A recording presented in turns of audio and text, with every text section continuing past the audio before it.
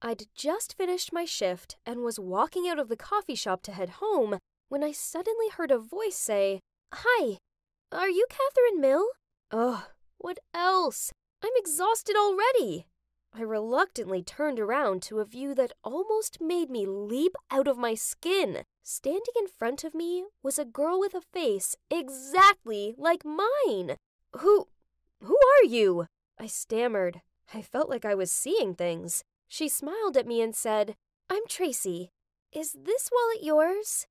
Oh, wow, you found it! I dropped it at the Seattle Mariners baseball game. I never thought I'd see it again. That's right. We met there. Then Tracy took out a cap and put it on. Hang on, that hat seemed so familiar.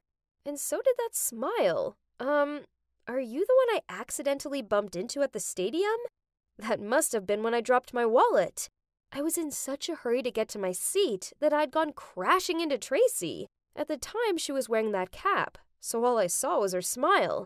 But now seeing her standing here, it was like looking in the mirror.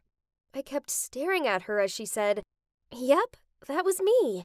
In fact, I came to find you not just to return your wallet, but because I need a favor. Can we chat for a sec? Um, sure. Let's go back inside the cafe. What favor could she possibly want? Well, I was about to find out. Catherine, I'm just going to say it outright. We have something in common, don't we? I hesitated to speak up, but I knew exactly what she was talking about. She then continued I mean, look at us. You're basically my doppelganger, which brings me to this favor to ask for. Kathy, I was hoping you'd impersonate me. I'll pay you, of course. I'll pay you a lot. Before I could even reply, Tracy handed me an envelope and showed me a photo of some very posh looking people. This is my family, she said. Wait, what? Turns out they were royals, or something close to. Her grandfather had been an earl in the UK, and then they'd moved over here to Washington. They're what you'd call an aristocratic family. So, yep, mega wealthy. Must be nice, I thought. However, it was suffocating Tracy, and that all of the duties that came with being from a family of nobility drove her crazy. Plus, one other little problem she was in love with a guy that her family definitely wouldn't approve of, because he came from a normal family. Her parents had arranged for her to marry the son of one of the country's richest CEOs. And so that's what led us to now. She wanted to hire me to pretend to be her, so that she could be with her lover boy without troubles. I was stunned. What if someone finds out? I muttered and shoved the envelope back into her hands, saying that it was too much money but Tracy just laughed. Oh, this is just the initial payment. You'll receive so much more. Please, I'm begging you. Think about it. Then she looked at me with proper sadness in her eyes. I really did feel sorry for her, but I needed some time. And it would be better to get my mom's opinion on this first. Ever since I'd been a little girl, I'd always talked things through with her. She was the only family I had, and the only one I could trust and rely on. Mom would know what to do. When I got home, I found my mom waiting for me at the table. We ate dinner together in silence, as I could barely focus. She knew something was up right away. Honey, what happened at work? I hesitated, then handed her the photo of Tracy's family.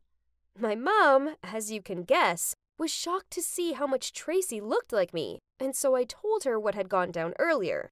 I explained that she offered me a ton of money to impersonate her, but that it felt risky. I'd assumed my mom would be dead set against it, but what she said surprised me. That poor girl. Indeed, how people always say it's not as fun as it looks being too wealthy. But hey, a bit of extra money in your pocket couldn't hurt. I mean, you could use it to pay for your vocal training. And at the same time, you'd help Tracy so that she can be with her true love. Yeah, Becoming a singer had been a lifelong dream of mine, but because of money struggles, I'd had to put that aside. Mum's right. This was my chance. I had to take it. So I called Tracy to seal the deal. She was over the moon about it, and we arranged to meet the next day to start preparing. I thought I'd just have to learn all of her favorite things and maybe borrow some of her clothes so that I didn't get caught out. But no, there was a whole lot more to it than that. For starters, I had to take etiquette classes. Can you even believe?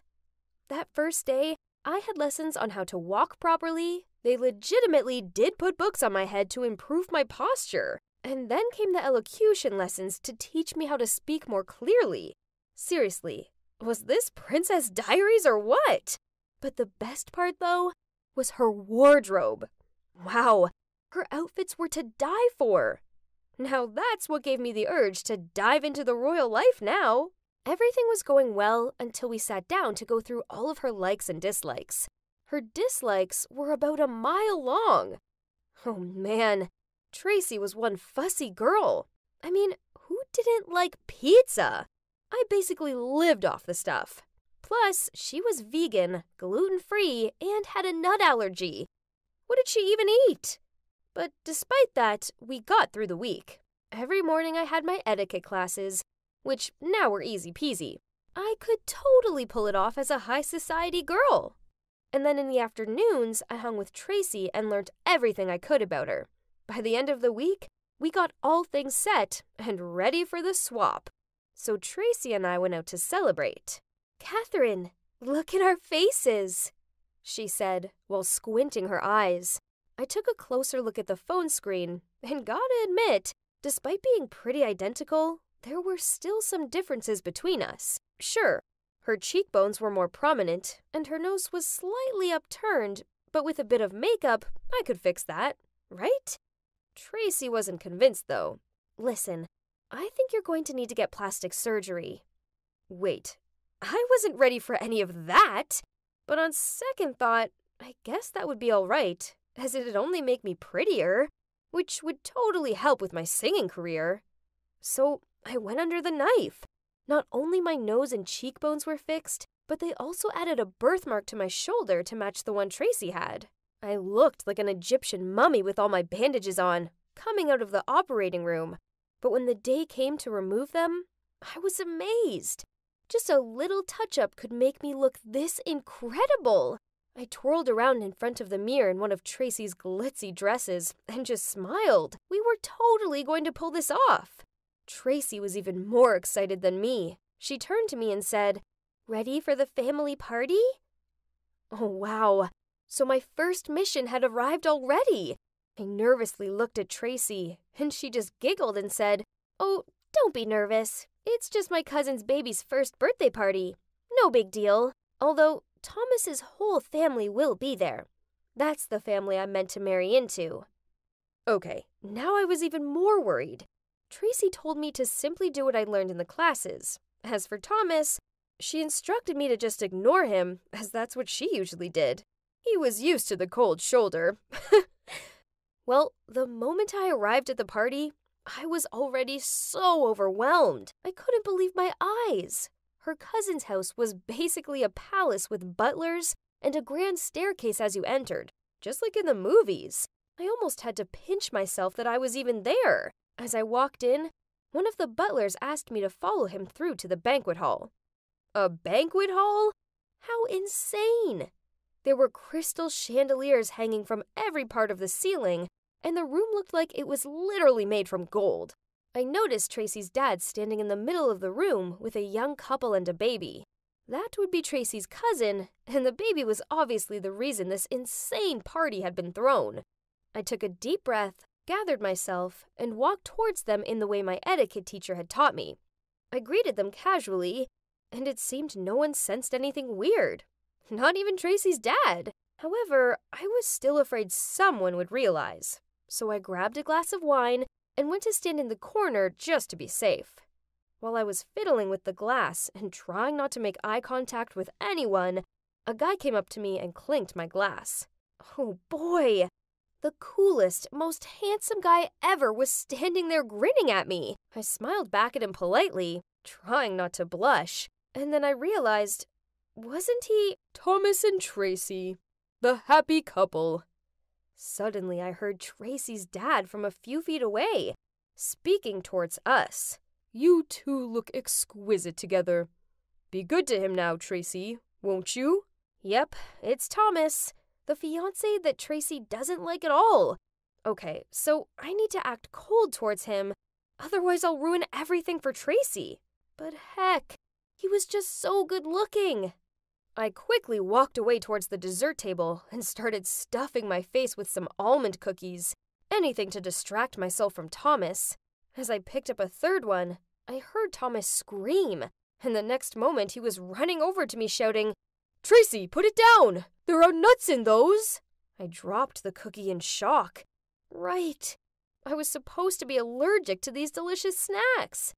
Totally forgot that. Gosh, I turned around to see all eyes were on me. This was a disaster. I was like a deer in the headlights. Didn't know what else to do. I pretended to faint. Thomas immediately carried me somewhere while others called the family doctor. I only took a peek when I felt like I was let down on a bed. And wow, even their guest room is gorgeous. Anyway, the doctor did some quick checkup and said I was okay. Well, obviously, then Thomas rushed over, holding my hand and kept saying, Thank God you're okay, baby. Really? How come Tracy didn't like him? He was so sweet. He was looking at me so lovingly. Wait, at Tracy, actually. Oh boy, this was getting weird. Guess I have started off this mission on the wrong foot. But having that first incident actually helped me become more careful, so I've been getting better and better at playing Tracy. I was like a secret agent that would be summoned by duty at any sec. Sometimes you'd find me as a princess, other times I'd be waiting tables. My life was getting busier, but much more fun in some senses. Then one day, Tracy suddenly appeared at my door, looking all loved up. How strange it was. Usually she only contacted me over the phone. Then she said, Kathy, I have a big mission for you. As she sat down, she put a bulging envelope on the table and said, Kathy, sweetie, I need a big favor this time. So here's the thing me and Arnold are going to Asia for a month, and, um, I was wondering if you could maybe move into my house and cover for me? I was shocked. A month? Um, that's quite a long time. I mean, surely I'll get caught. Oh, I'm not sure, Tracy. I tried to avoid her eye contact, but she kept begging and looking like she was about to cry. Oh, God. What should I do? Guys, please give me some advice. And stay tuned. I'll be back with part two to tell you how things go down. Why do I have uneasy feelings about all this?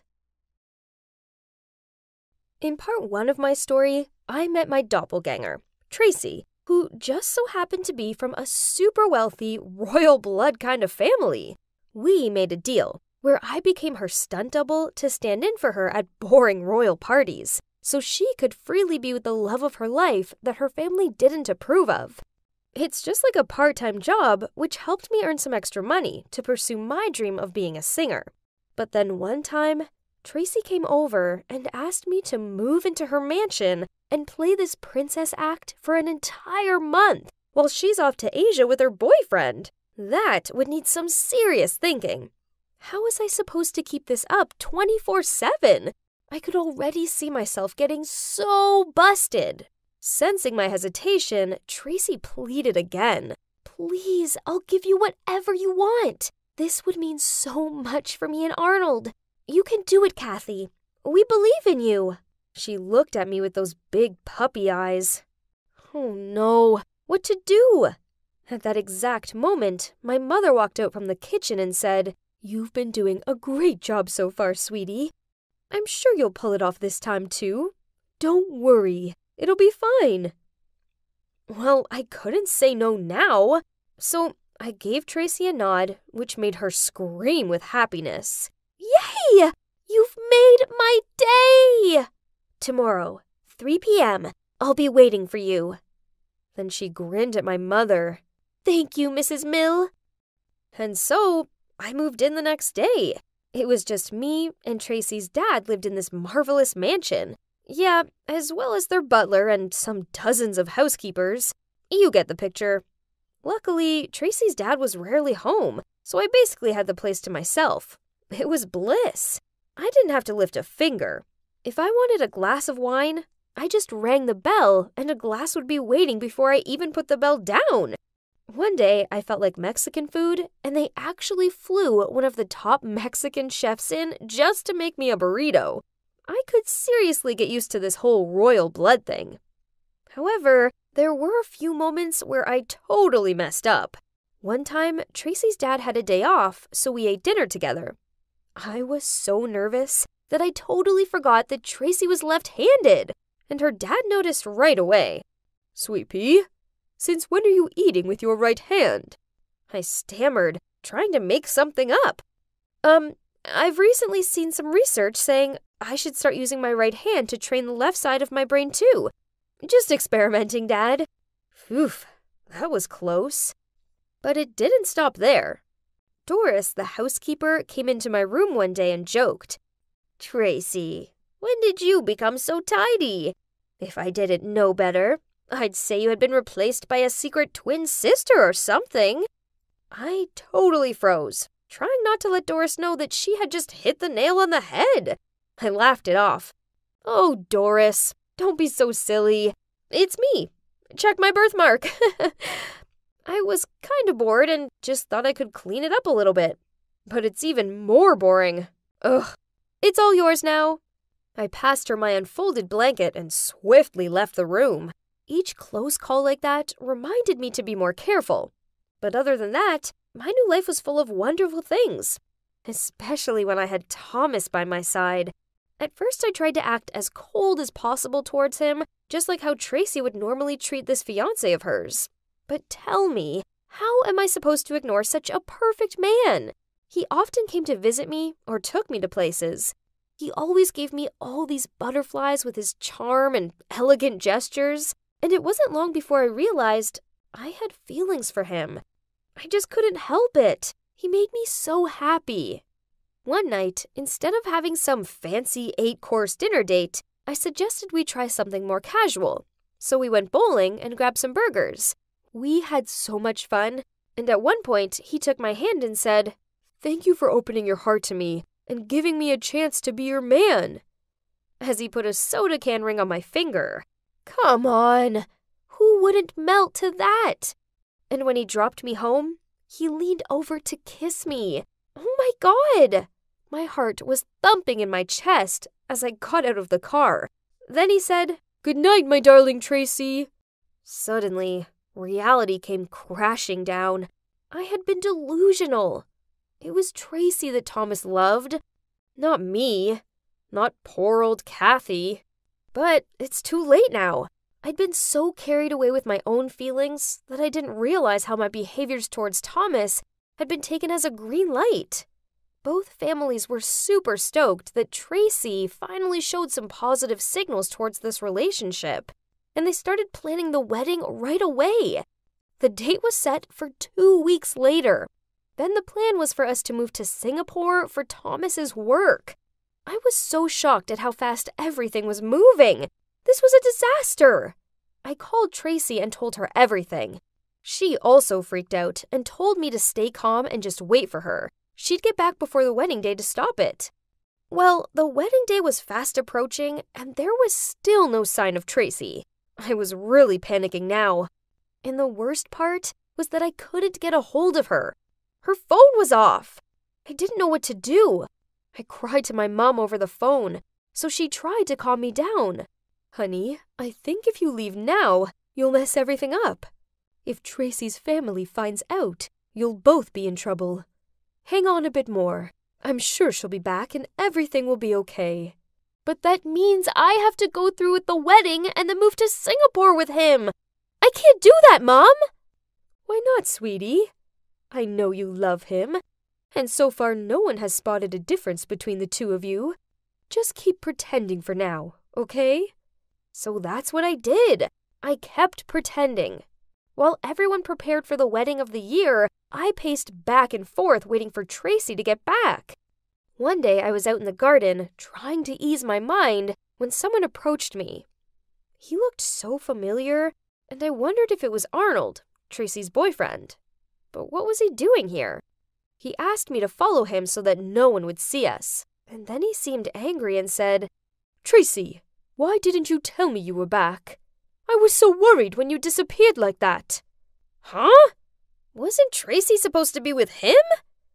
Arnold, calm down. I'm not Tracy. I'm Kathy. But Tracy has disappeared?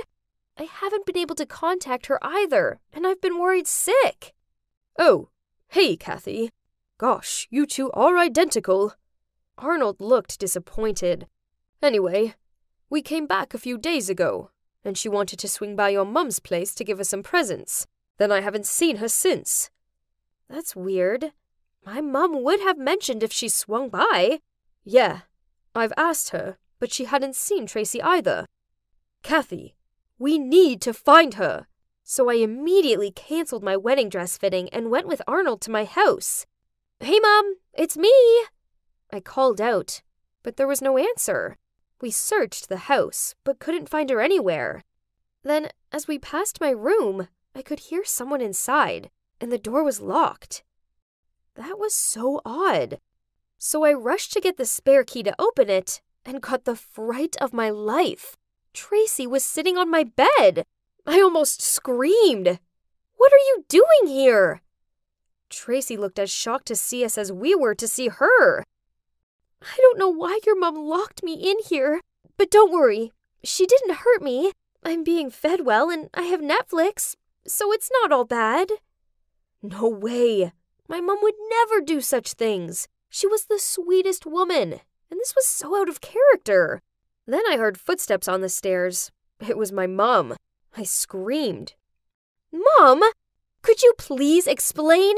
What's going on here? She looked at me and stammered. I.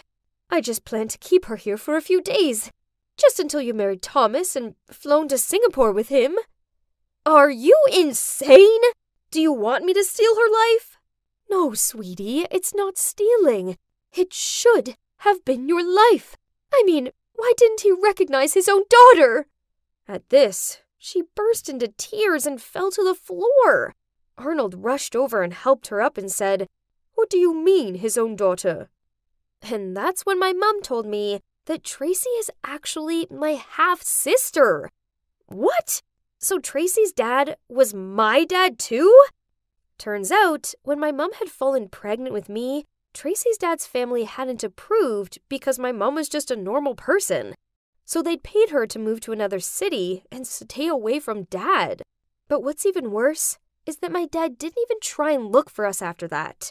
In fact, a few months later, he'd already married Tracy's mom, who came from a rich family. Both Tracy and I stood there completely shocked. No wonder we looked so similar. So, you're my sister? I gasped, staring at Tracy with wide eyes. Really? Dad did that? What a selfish, arrogant man! I'm ashamed to even be related to him. I'm going to give him a piece of my mind. The truth needs to be told. No, Tracy, wait. Don't do that. My mom yelled. Sorry, but I have to. I can't play this game anymore. I have a plan. At that, Tracy walked off and Arnold ran after her. Here we go, I thought. And eventually, the wedding day of Thomas and Tracy rolled around. Me, my mum, and Arnold showed up in disguise. When the vicar asked them both to say I do, Thomas said it immediately. But Tracy paused. The whole church held their breath waiting for her I do, but it never came. Instead, she said, I can't do this, Thomas. I'm sorry. That's when Arnold appeared, and Tracy ran towards him and held his hand. This man, he is the true love of my life. Of course, Tracy's dad was furious. He got up from his seat and yelled in front of everyone, What on earth is going on? And that's the moment when I felt so proud of Tracy. She said, I don't love Thomas, Dad, and he deserves to be with someone who truly loves him back. That's what marriage is about, right? It should be based on love, not status or money. And anyway, I don't want to hurt someone the way you did. What are you talking about? Who did I hurt? He looked stunned. Um, my mom, Kathy's mom, and Kathy herself, too.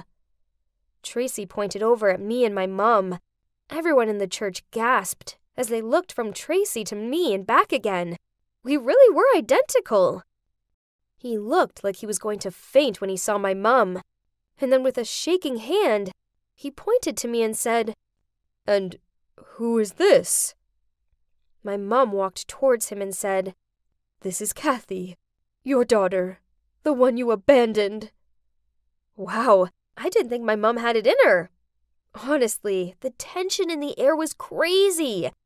People started whispering and shuffling in their seats. That was when Thomas said, So, which one of you is Tracy? I decided this was my moment to speak up. I'm not Tracy. I'm Kathy. I've been taking her place during the past month. I'm so sorry for lying to you this whole time. I couldn't even look him in the eyes as I put in his hand the soda ring that meant so much to me. Thomas looked disappointed and marched off. I ran after, trying to stop him, but he didn't care. Only, when I tripped and fell to the ground, he turned around to say, Why would you do this? Giving me false hope? And for what? Honestly, it would have been better if you'd treated me the way Tracy the Ice Queen does. I'm sorry, Thomas. I didn't want to hurt you. My feelings for you are real. I started to cry. You're so selfish, Tracy. Oh no, wait. I mean, Kathy. Then he walked off. In the end, the wedding was obviously cancelled. Tracy's dad, or should I say, our dad, had no choice but to accept Tracy and Arnold's relationship. I was so happy for her. Dad, of course, also apologized to me and Mum, and even offered me to come and live with them. But I refused. I wasn't about to leave my mom. However, I did accept his offer to pay for my vocal training. At least I could live this dream of mine. Because I doubted I could make my other dream come true my dream to see Thomas again. I was heartbroken. Still, I had to get on with life. Maybe I'd meet someone else. Pretty soon, it was time to graduate from my first semester of vocal training, and I was going to have my first ever solo performance to an audience. I was so nervous, but I sang with all my heart. And afterwards, as I left the theater, someone ran up to me with a giant bouquet of flowers. Unbelievable! It was Thomas! I burst into tears and he said, Hi, Kathy. I'm Thomas. Nice to meet you. That put the widest smile on my face. I then ran into his arms, saying, It feels so good to hear you call me by my real name. Yes, I'm Kathy. I know we just met, but will you be my boyfriend? And you guessed it. The rest is now history. We're currently planning our wedding. For real this time. And I've honestly never been happier. I can't believe it's been a year since Gerald passed away. I know it's been hard, but on the bright side, at least you still have your two wonderful daughters. Thank you. She smiled. Then she rubbed Jamie's head.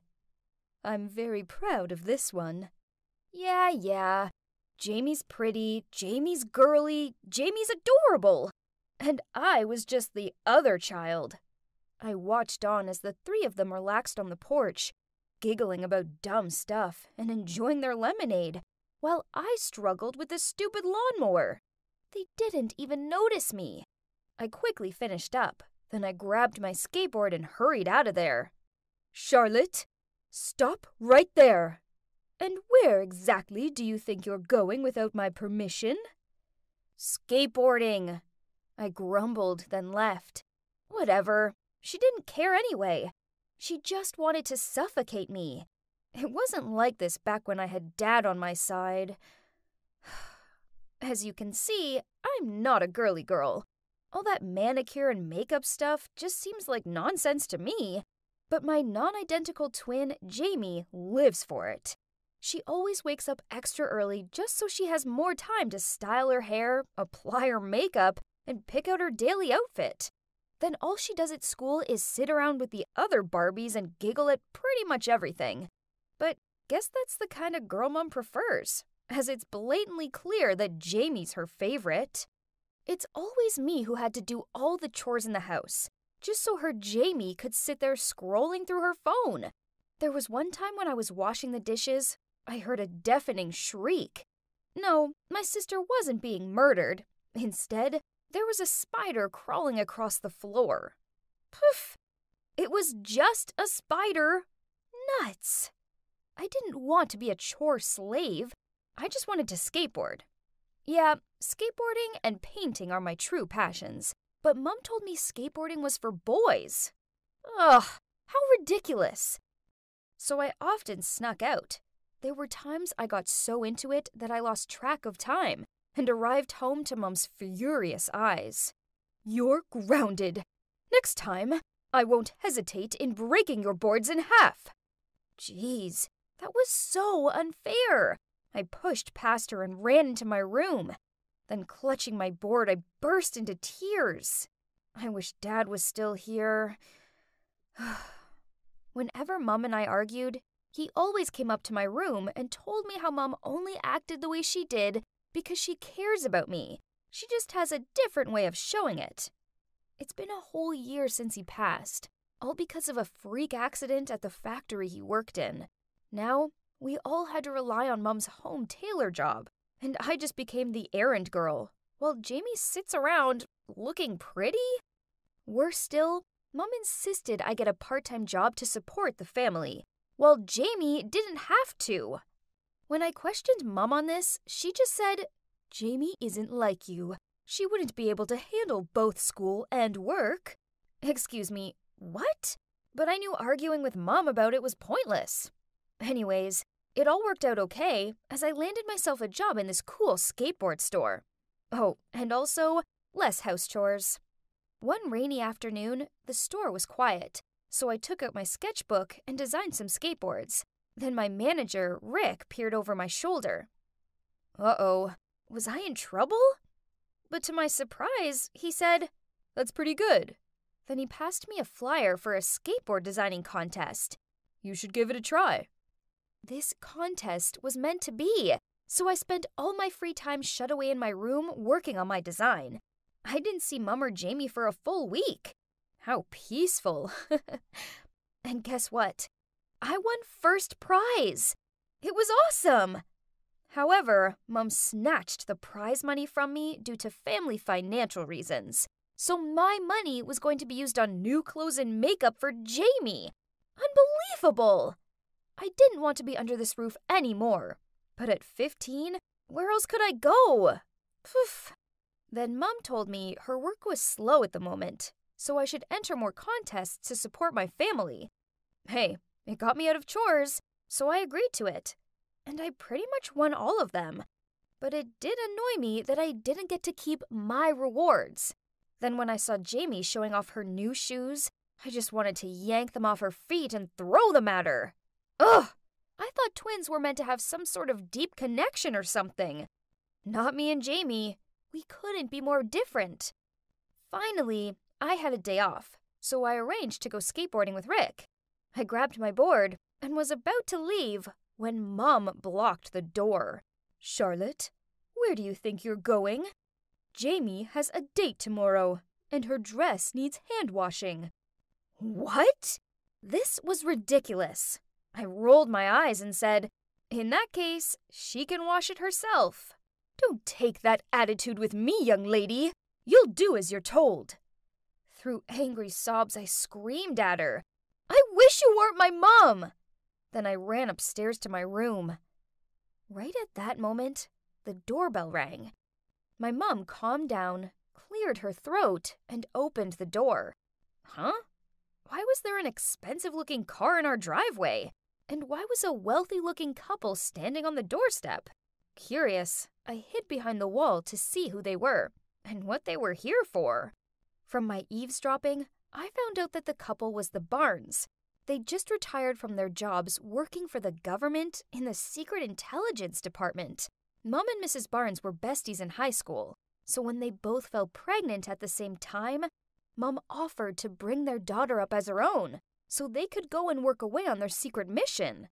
We've both taken early retirement, and we can finally enjoy life. We're very grateful to both you and Gerald for looking after our daughter, but we're here to take her home now. Oh my god! Turns out, one of us was adopted! No wonder we were nothing alike. But was it Jamie or me? Could it be me? I mean, Mom always preferred Jamie, so she could be her biological daughter. I knew they were my real parents. I could feel it. So, taking a deep breath, I nervously stepped out to meet them. Jamie, come down here, sweetie. Mom called, and I froze on the spot. I watched on as Jamie appeared, and Mum introduced her to her real parents. She didn't even seem surprised. She just replied, Yes, I know. Then sweetly grinned. I'm so happy that I can finally meet you both. The Barnes cooed over Jamie like she was a puppy or something. Then they got emotional and all. Ugh, it made me want to puke. I ran up to my room, locked the door, and cried. Life was so unfair. Jamie was always the lucky one, while I always got the raw deal out of things. I must have cried myself to sleep, as when I woke up, it was morning. I reached for my phone. Jamie had messaged me. It's sad you missed my farewell dinner. I had a great time living with you. Come and hang out sometime, okay? Poof! I aggressively threw my phone down onto my bed. Bold of her to assume I would ever want to hang out with her. We had nothing in common. Luck alone was an example. Life went on, but without Jamie, as she moved to some rich kid's school. And I continued going to school, work, sneaking out to skateboard, and avoiding mom as much as possible. Then, one chemistry class, while we were carrying out an experiment in the lab, one of my classmates made a mistake. And boom! We were all left looking like Cinderella. and that might have actually been the best thing of that day, since we were dismissed two hours early. Excited, I rushed home to get my skateboard, but I knew I needed to sneak past Mum so she didn't accuse me of skipping class. But as I passed the kitchen, I saw her sitting at the table sobbing to herself. What was going on? Suddenly, she stood up and walked out to the backyard. There was a leather notebook and a pen on the kitchen table, so I tiptoed over and took a peek. It looked like her diary. Hmm, those freshly written lines were stained with tears. Jamie, my baby, I miss you terribly. I want you to live a wealthy, happy life. So I made the ultimate sacrifice. I tell myself every day that you're now a Barnes, not a Smith anymore. Not my daughter anymore. What? I couldn't trust my own eyes. What did these words mean? Could it be but even if she mistreats me sometimes, she couldn't be that kind of person, right? I tore out that page, then hurried off to the skate park. Only I couldn't concentrate. It was so bad, I messed up my pop shove and landed on my butt. Ugh, this was driving me insane. That evening, Mom appeared in my doorway and asked, Charlotte, what did you do this afternoon? I answered, I told you already. I was at school and then the skate park. Did you see my notebook? The leather one? I shook my head in response. Oh, it's my expense book. I can't remember where I left it. She gave another scan around my room before leaving. When she was out of sight, I immediately pulled out my phone and texted Jamie. Jamie, I miss you a lot. Can I come over to your house tomorrow? I needed to see Mr. and Mrs. Barnes. I had to find out what was going on once and for all. Jamie replied she had a date the next day. Hmm.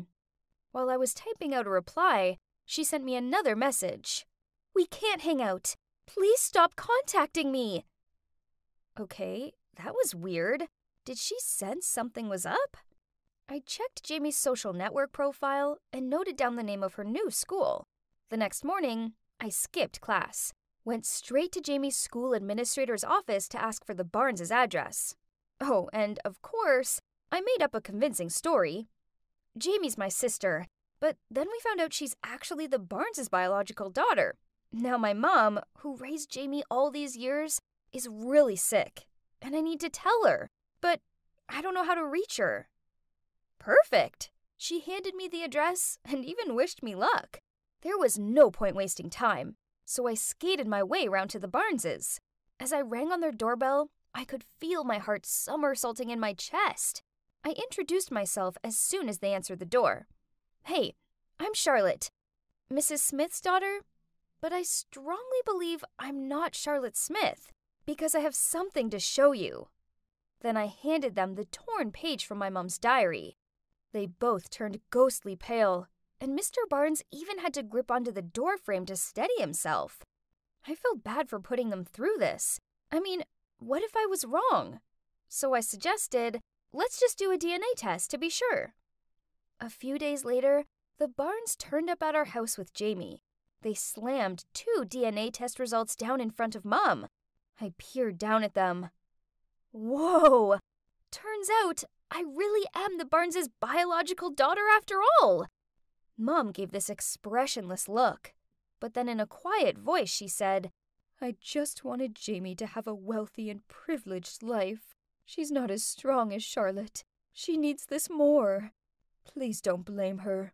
She didn't know anything about this.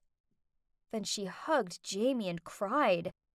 Mr. and Mrs. Barnes looked overwhelmed. Finally, Mr. Barnes managed to find the words to say, Jamie's also like a daughter to us now. We will take care of her like you did with our daughter, but just stay away from us. He pulled Jamie away from Mom and guided her out of the house. Mrs. Barnes hugged me as she started crying. I found myself doing the same. This was my real mom holding me. Whoa, this was so crazy. I packed my things, but as I was leaving, my old mom called me back. Charlotte, I have something to give to you. Then she handed me a small box full of cash. This is your prize money. I put it away for your college fund. You better have it back. I'm so sorry. My sight blurred with tears. Dad was right. She still cared for me. My parents will forgive you. Then you'll soon see both of us again, I said as I hugged her tightly. Then I turned and left. A new life was waiting ahead of me.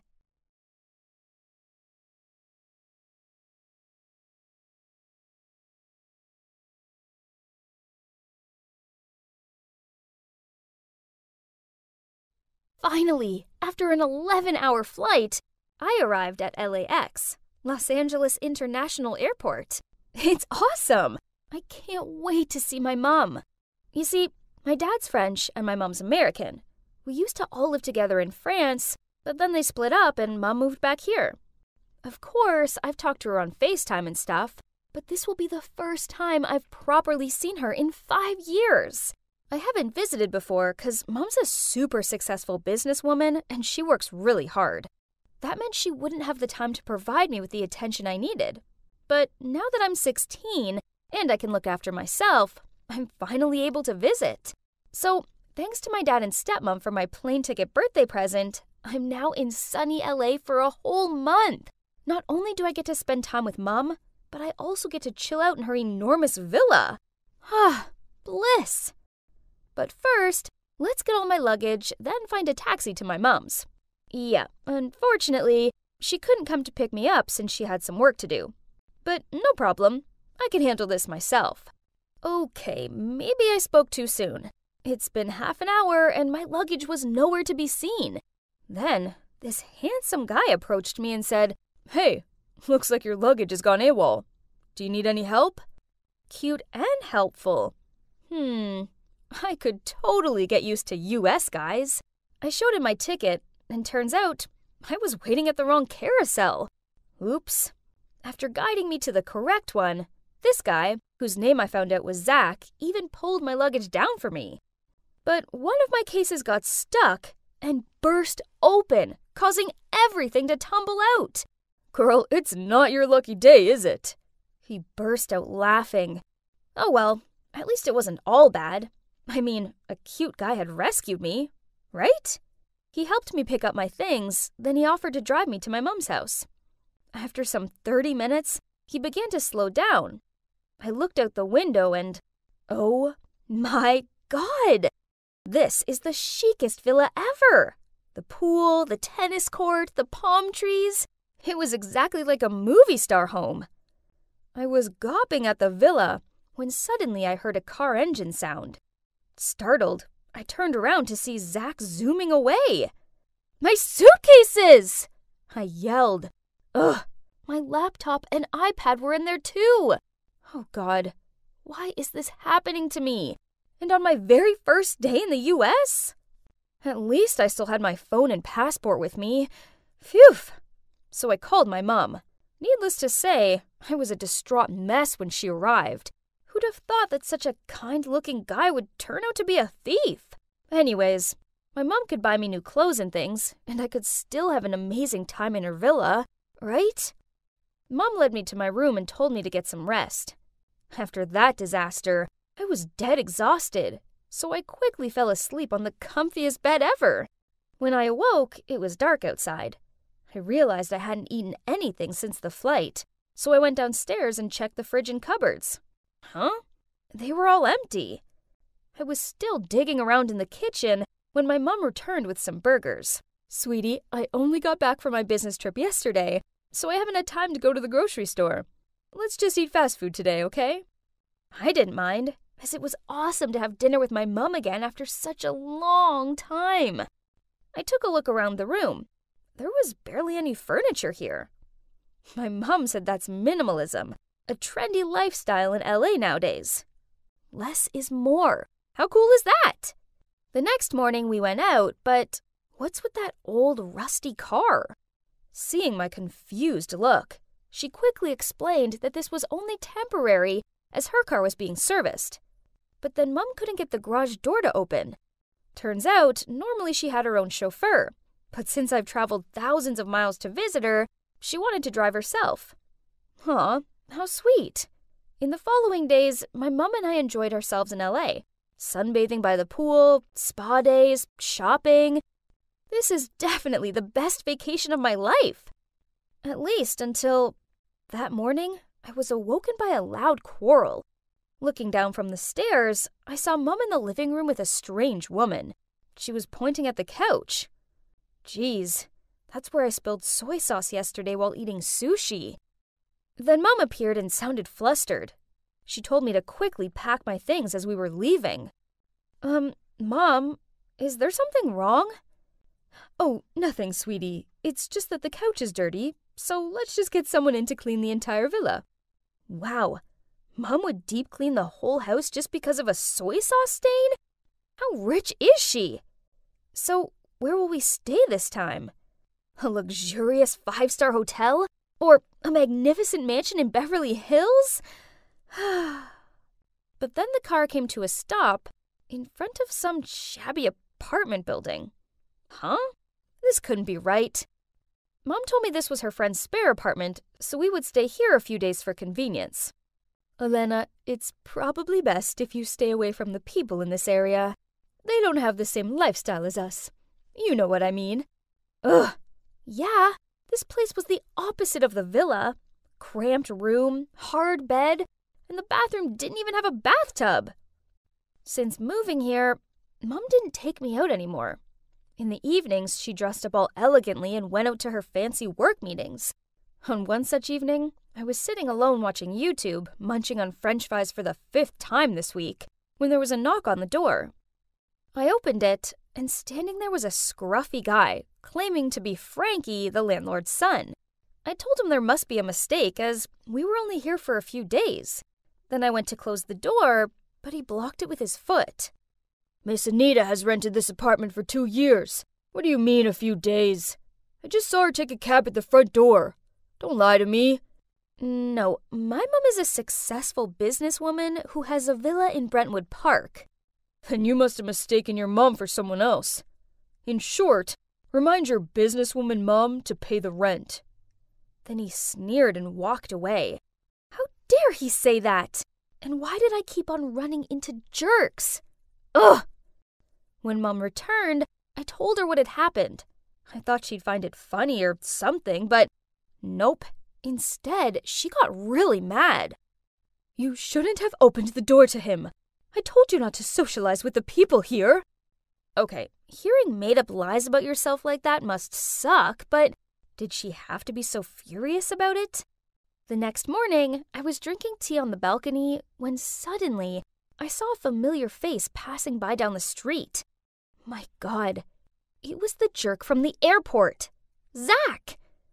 That thief! I shouted, rushing down, but when I got there, he disappeared. I was still exasperated when a voice came from behind.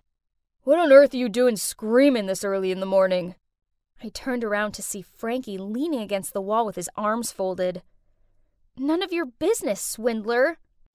Huh? Swindler? What do you mean? Quit lying.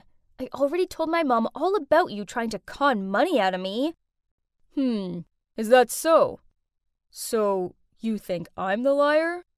Before I could answer that provoking question, I heard my mom's voice calling down from the balcony. Hey, rich girl, if you want a reality check, I suggest you come meet me tonight, and we'll go follow your mom. Mom appeared and, frowning, asked me why I was talking to Frankie. I blurted out something about asking for directions, then quickly entered the room and closed the door. Frankie was clearly a thieving, lying jerk, right?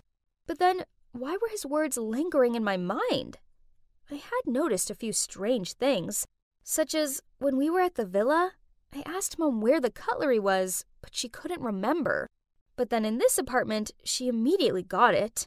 Plus, why was there a photo of her in the bedroom when this was her friend's place? That night, when Mum was getting ready to go out again, I spotted her necklace. Only, it was actually my necklace. The one that had been stolen along with the rest of my stuff. My dad got that necklace custom made just for me, so it was a one of a kind, but why did Mum have it? I complimented her on it and asked her where she'd got it from. Blushing, she excitedly told me that this rich man she'd just started dating had bought it for her. Then she said he was taking her for dinner tonight. I forced a smile, but my head was filled with questions. Who really was Mom? I secretly followed my mom down the street. Suddenly, a hand patted my shoulder. Let's go, I turned around and it was Frankie. Without saying anything, I nodded and quickly got into his car, and we followed Mum's taxi. Hold on. Isn't that the villa we stayed in before?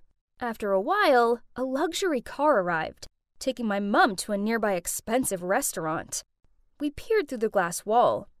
There she was. My mum was sitting there, smiling and talking with some man in a suit. Was she pretending to live in that villa to trick that man?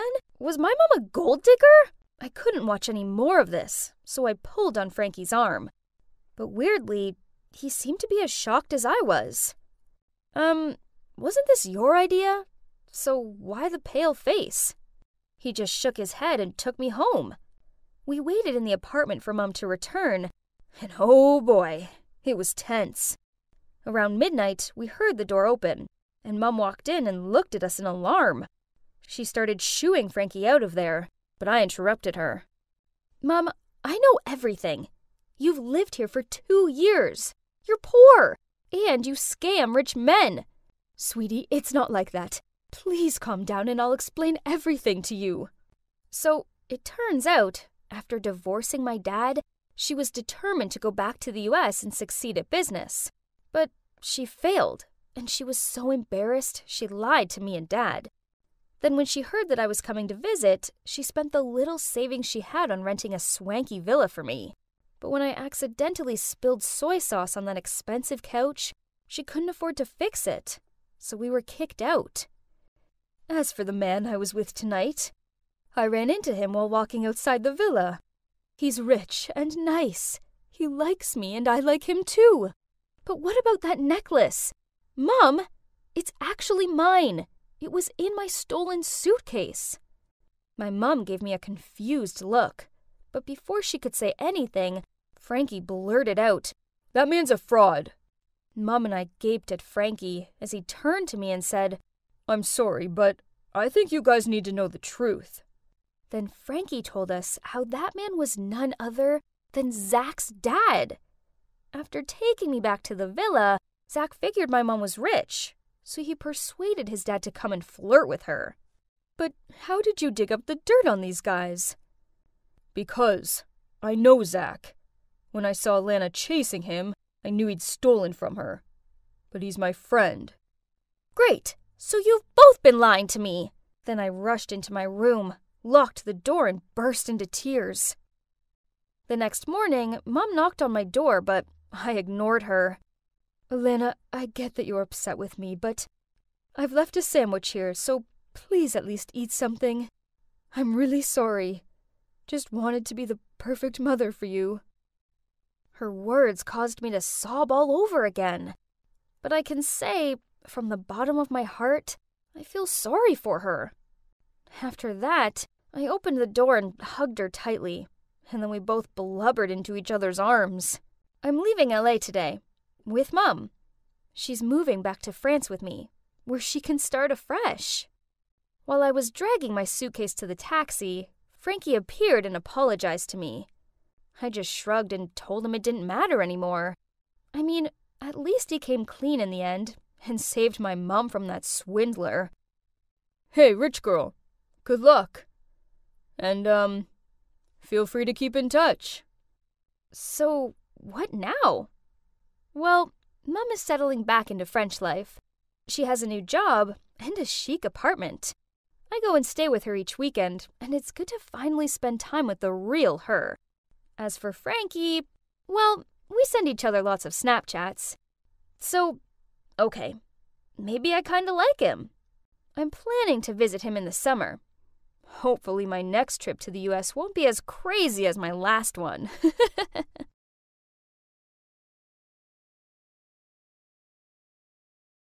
Family. They're complicated. Right. I used to think my family was happy as can be. Nope.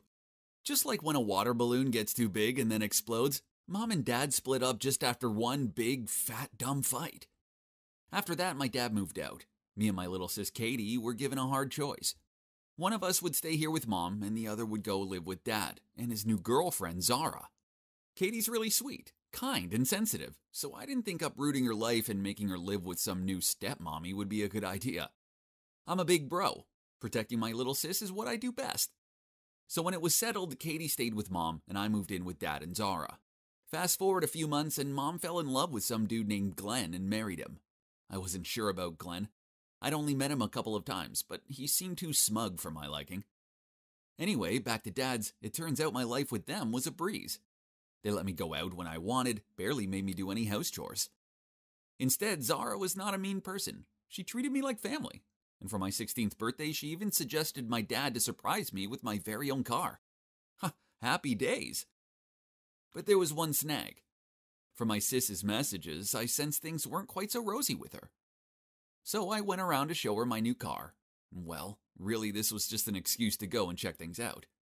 I strolled into the house to find Katie emptying the dishwasher. She was crying. I mean, I know house chores suck, but they weren't bad enough to bring someone to tears. Something was up. I made her a drink and we both sat down and talked. She told me that it was Glenn. He didn't like her and kept getting her into trouble. Katie said, He always considered me as a thorn in his eyes because he wanted mom to spend full time with him. He demanded that I do all the house chores and then, when mom got home from work, he'd say he did them.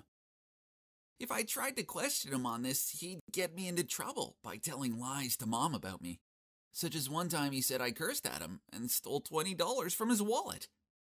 I didn't like the sound of this, so I asked her, Have you tried telling mom what's going on? She nodded her head and blubbed out, Yes, she says I'm just lazy and jealous. I replied, Sounds like mom's blinded by love. Don't worry, sis, she'll come around and see sense soon. She sniffed back tears and said, I hope so, Rory, as things really suck here. I told her to let me know the next time Glenn did anything sneaky. Whoa, turns out this guy likes to play dirty. A few days later, he switched the cooking oil for whiskey, so when Mum started the cooking, the whole thing went up in flames. Then Glenn rushed to the rescue and blamed Katie, saying he'd seen her holding the whiskey bottle last night, but presumed she was just trying to sneak some. Then he told Mom that Katie had insisted he cook her steak, so the prank must have been meant for him. Mom instantly believed him over Katie, and punished her by making her miss her school dance and having to do house chores instead. Poor Katie, she was so upset. But then a week later, sneaky Glenn struck again. This time, Katie saw him switching mom's diet mayo for the full fat stuff.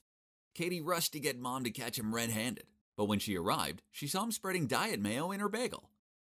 Mom shouted at Katie for saying untrue things about her stepdad and grounded her again. This sucked. My sis was the sweetest girl, and she doesn't deserve this. Not to mention the fact that some of these pranks sound dangerous. Well, not so much the Mayo one, but the fire one could have ended so badly. This Glenn dude needed to stop with the games, and it was about time I showed him that no one messes with my little sis. So I suggested we switch things up for a couple weeks. Katie would go and live with dad and get to know Zara, and I'd go and live with mom and get to know Glenn. It's clear Glenn knew he couldn't mess with me, so for the first week he stayed out of my way. I use this time to refuel, relax, enjoy mom's cooking, oh, and plot my revenge. When the second week arrived, I was ready to make Glenn's life a misery. Tough lucky, Glenny boy. Mom was working extra hard as Glenn had lost his job. So, being the good son I am, I drove her to the grocery store. Mom was so happy with my help, and she promised to make my favorite omelet. When we got home, Mom called Glenn to come and help carry the bags inside. He tried to impress her by carrying them all at once, but one of them split open and groceries went everywhere, including the box of eggs. Oops! Mom was furious and shouted at him. That's what you get for trying to show off and be a strong man. Now I can't have an omelet for my dinner, and I was looking forward to that. Haha, seeing his dumbfounded expression was so funny. Yep, I cut a hole into the bottom of the bag so that would happen. I wasn't finished with him yet, no chance. So, in the next few days, when mom left super early for work, I poured cornflakes everywhere, threw dirty laundry onto the floor, put the dog bowl on top of the couch, and stomped around in my dirty sneakers. I even took the breakfast mom had prepared for Glenn to school with me, so I knew he'd wake up hungry. Then spent all day having to tidy up my mess. Ha! Naturally, Glenn wasn't happy with me, so when I got back from school, he forced me to mow the lawn. This guy looks so tired spending the entire day clearing out my stuff, so fine by me. As when mom came home and saw me, I gasped for breath and said, I had a busy day with schoolwork, but Glenn still made me do all the chores. I'm so tired, mom. Mom rushed inside and found Glenn watching cartoons. Then she yelled at him, You're home all day, so why don't you mow the lawn instead of making my son do it? I had to go to work. My boy had to do the chores. So what exactly is your role in this house? Glenn was speechless. It didn't end there, as mom was so mad she made him sleep on the couch. Glenn avoided me after this, but that wasn't enough. I had to make sure that he'd leave my sis alone. I needed to make Glenn realize that his jerky ways were wrong. I knew mom and Glenn had a piggy bank in their room for their future kid fund. So when they weren't around, I snuck into their room, smashed open the piggy bank, and hid the money in Glenn's jacket. That night after dinner, I asked mom if I could borrow her headphones so she went into her room to grab them. Just then, Glenn grabbed his jacket and was about to go somewhere. The moment he stepped out the door, we heard a frantic scream upstairs. It was my mom. She must have found the broken piggy bank and ran downstairs yelling at Glenn. He stood in the doorway confused, but then she checked his pockets and voila! There was the money. She angrily waved it in front of his face. What's this, huh? You're gonna go out spending the savings for our kid, right? You're making no money, so stop ruining everything. They took their argument outside, and I went up to my room and watched through the window. Suddenly, a car pulled up, and out stepped this well dressed girl. Oh, wow, it was Katie. She ran over to Mom and hugged her. Then, Dad and Zara appeared. Turns out Katie had had a great time at Dad's. Zara had always wanted a daughter, so when Katie came, she was so happy and had taken her shopping, got her hair done, and spoiled her. When Mom looked at her own daughter having a better life with her stepmom, I was pretty sure she realized how bad she was. I could see her ashamed face. I rushed downstairs and greeted my sis. Then I turned to Mom and said, Mom, you should care for Katie more. You see, Glenn even treated me badly. You don't know how hard he was with her. We love you, so please trust Katie like you trust me. Then I turned to Glenn. You're her husband, but it doesn't mean you can replace us in our mom's heart. Mommies always love their children best. Don't be childish and try to separate them or I'll come back. I winked at him. Yeah, okay, he grunted. Then he turned to Katie and said, I'm sorry, Katie. What do you say to us starting again? Katie smiled sweetly and said, Okay, I'd like that. It looks like I'd save the day. Now, Glenn knew that if he ever messed with Katie again, then I'd be back. After that, Mom still made Glenn do all the chores, but Katie, being the sweet girl that she is, helped him out with them. As for me, I went back to life at Dad's. I went around there more often to check on Katie and give Mom a lift to the grocery store. And Katie even came around for barbecues and to have a girly pamper session with Zara. So in the end, everything worked out, and now we're one big, crazy, dysfunctional family. But hey, as long as everyone's happy and doesn't try to mess with my little sis, then it's all good with me. Hi guys, I'm Chrissy, and my high school life took a drastic turn thanks to my crazy, overprotective mom. You see, my parents divorced when I was a little kid. I stayed with my mom, but she worked for the Criminal Investigation Department, which meant she was super busy, so the house chores remained undone, and we lived off takeaways. Trust me, having pizza and egg fried rice every night isn't as good as it sounds. My grandparents could see that my mom was struggling to juggle her work and home life commitments, so I went to stay with them. I didn't mind this, as mom always visited me on weekends. Besides, grandma's meals are delicious. But then, mom switched departments, she went from chasing criminals to handling paperwork at the station. Due to these changes in circumstances, she had far more time on her hands, so I moved back in with her. It's only by living with her that I realized just how different she is to me. Talk about my opposite, as she's strong, fierce, and impulsive. Basically, she's like a man, while I'm a sweet girly girl who loves wearing pretty clothes and watching cute movies. You can imagine my horror when I invited my bestie, Sharon, over, and mom was walking around the house in a skull print tank top, ripped jeans, and biker boots. She looked like she was going on a bike rally. Yeah, this was just her usual style, but I was expecting she would at least act normal for once when we had a guest around. It was so cringe. She was almost 40, not 15. Then, on my first day of high school, Mom insisted she take me there and pick me up, as she was worried there might be troublemakers on the bus. Yep, I know, this was ridiculous. I mean, how delicate does she think I am? But I didn't want to upset her, so I reluctantly agreed. School's out, and I was chatting with my friends while waiting for my mom to show up when we suddenly heard the sound of a motorbike engine coming toward the school. Me and my friends got excited and whistled as we thought a cute guy was passing by. But then they stopped near us and took off their helmet. I literally wanted to faint. It was my beloved mother. Oh, sweet Jesus! What on earth was she doing? My mom shouted with joy. Hey, Chrissy, get on! Then she held a spare helmet out to me. I swear it was like the whole school was outside watching us. How embarrassing! When we arrived home, I asked her where the bike had come from. She replied, What? Oh, you mean Eleanor? I just bought her last week. The weather is so nice today, so I thought I would bring her along. Yes, you heard her right. My mom named the bike after Eleanor Roosevelt. Unbelievable! The embarrassment didn't end there. Oh no.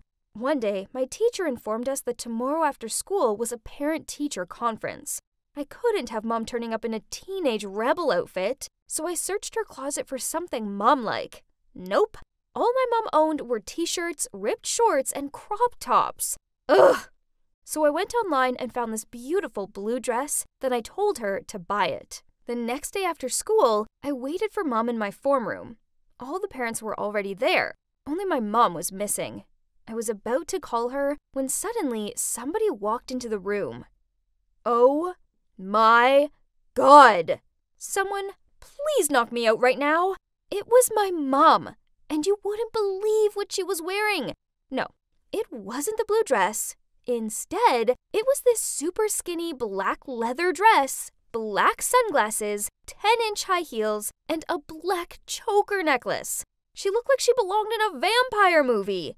Everyone was gawping at her. I think some of the dads were even drooling a bit. When I confronted her about it, she just shrugged and said, Sweetie, this dress is much more my style than that mumsy blue one. Now, this was officially my number one most embarrassing moment ever. Thanks, Mom. Why couldn't she be like me? I mean, I was starting to think that I was the adult here, not her. The embarrassment didn't end there. Instead, she took it to a whole new level. My school was planning a camping trip, and I was so excited about it. Mom wanted to come along and supervise, but I firmly said no. She started saying, But honey, you don't know how dangerous the woods are. What if you got bitten by a snake? Do you know how to handle that? I don't think so. What? She was just being ridiculous again. We argued for a while, but in the end, she agreed to let me go without her. The trip was so much fun, and some cute boys asked Sharon and me if we wanted to go for a swim in the lake. Of course, we said yes. I mean, look at them. They were so cute. Suddenly, I heard screaming. It was Sharon. She said someone was hiding in the bushes and watching us. That was so creepy. The cute boys said they'd go and check it out, but then this person jumped out of the bush and did a judo throw on them. Wait a minute. I know that move. Could it be? Oh no! It was my mom! What was she wearing? She was in full army gear. She even had binoculars. Jeez, Mom, what were you doing looking like a G.I. Joe? I couldn't hold my tears and I cried out, Oh my god, why can't you leave me alone? You're ruining everything! Then I ran back to the camp.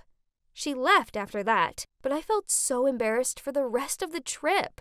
When I returned home, my mom immediately said sorry to me and swore that something like that would never happen again. Okay, I could see in her eyes that she really meant it, so I would give her another chance. She calmed down a lot after that, and even let me go to school by myself. Well, that was big progress, don't you think? Soon after that, I started to date this boy named Kevin, and boy, was he hot! He was one of the popular kids at school, so I still couldn't believe he chose me. I don't know how Mum found out about him, but she did, and she insisted on inviting him over for dinner. I made her agree not to do anything crazy. I mean, what was the worst that could happen? The dinner was going well until we got to dessert. Then mom started asking him awkward questions like, Kevin, how many girls have you dated? And, I assume you two have health classes at school? Or should I remind you of some important facts? Oh, sweet Jesus, Mom! Her questions were beyond embarrassing. Kevin just sat there with a super awkward smile on his face and didn't answer. But then Mum announced it was very late and practically shoved him out of the house. Huh, it was only 8:30 p.m. After he left, I went straight to my mom and we started arguing. Mom, you agreed not to do anything crazy. Why can't you act like a normal mom? She replied, Oh, honey, that Kevin guy is really cute, but he's not good for you. I know his type. They only want to take advantage of girly girls like you. What? Girly girls like me? What was that supposed to mean? I shouted back. You're doing it again! You're being overprotective! That's because you're not tough enough. If you wouldn't be so girly and be a badass like your mum, I wouldn't have to protect you all the time. I stormed up to my room and slammed the door shut.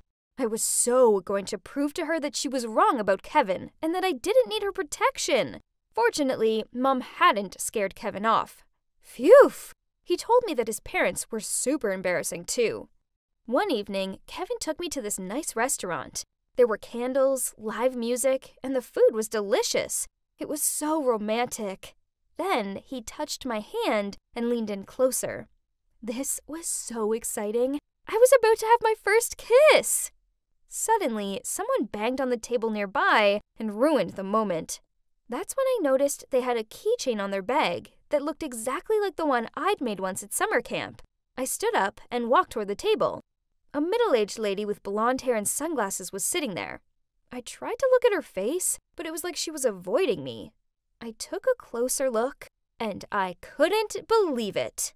I ripped the wig off her head, and yes, it was my beloved mother again! To be honest, I didn't want to argue with her anymore. Today was proof that she just couldn't change. So I just said in a calm voice, I hate you, Mom. You're the worst mom ever. Then I grabbed Kevin's arm and ran out of there. Okay, maybe what I said was a bit harsh, but she just ruined what would have been my first kiss. I couldn't concentrate on our date after that, so I asked Kevin to take me home. But to my surprise, he drove me back to his place. Uh oh, I knew what that meant. But I wasn't ready for any of that yet, so I told him I'd get an Uber. Suddenly, he grabbed my arm and tried to drag me into his house. I couldn't believe this was actually happening. Mom was so right about him. I was freaking out. But then suddenly, I remembered something important that she'd taught me, so I used her signature judo move on him. It worked, as he laid on the ground and groaned out in pain. Ha!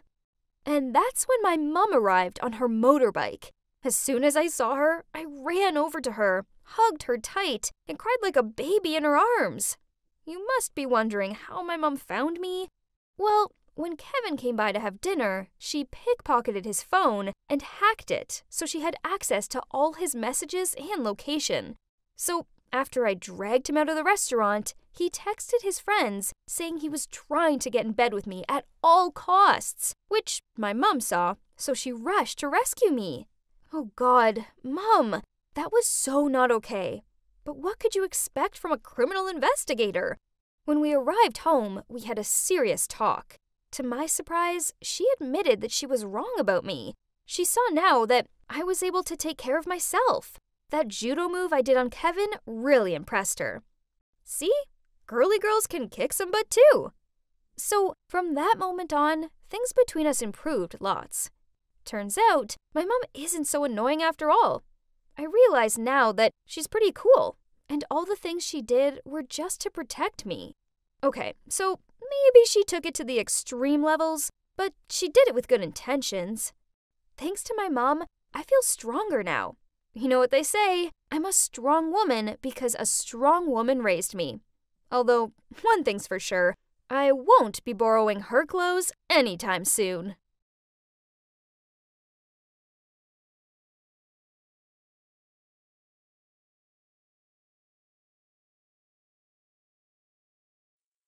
Hi everyone, I'm Emma, and this is my story about what can happen when someone gets so jealous of you they try to ruin your life. It all started with my mom. She's a beautiful woman, and I took after her. So, when she divorced my dad and we moved to a new town, obviously I started a new school. That's when the trouble began. I became popular very quickly, but not with the girls. It was the boys who went wild for me, and it drove me crazy.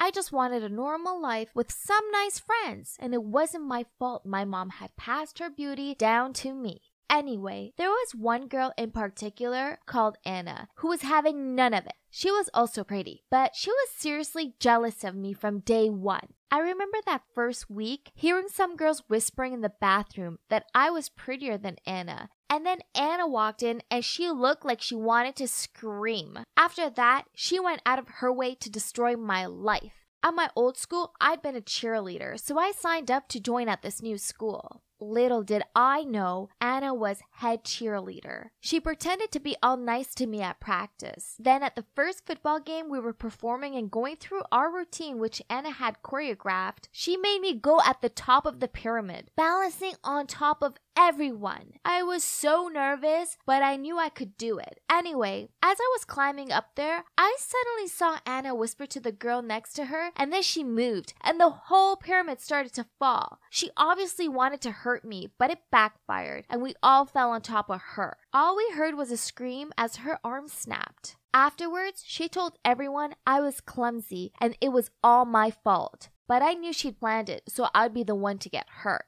And that's not all. Prom was coming up, and my mom had made me the most beautiful long silk dress. I felt like a princess and couldn't wait to see what everyone would think. Of course, Anna was also wearing a beautiful dress, but everyone was staring at me. I saw her roll her eyes, and then when I was dancing with two of my friends, I felt something rip. I looked behind me and Anna was standing on my dress. I couldn't believe it. I tried to move, but she wouldn't budge and it wouldn't stop ripping. Suddenly, I was standing there with a mini dress and I wanted to cry.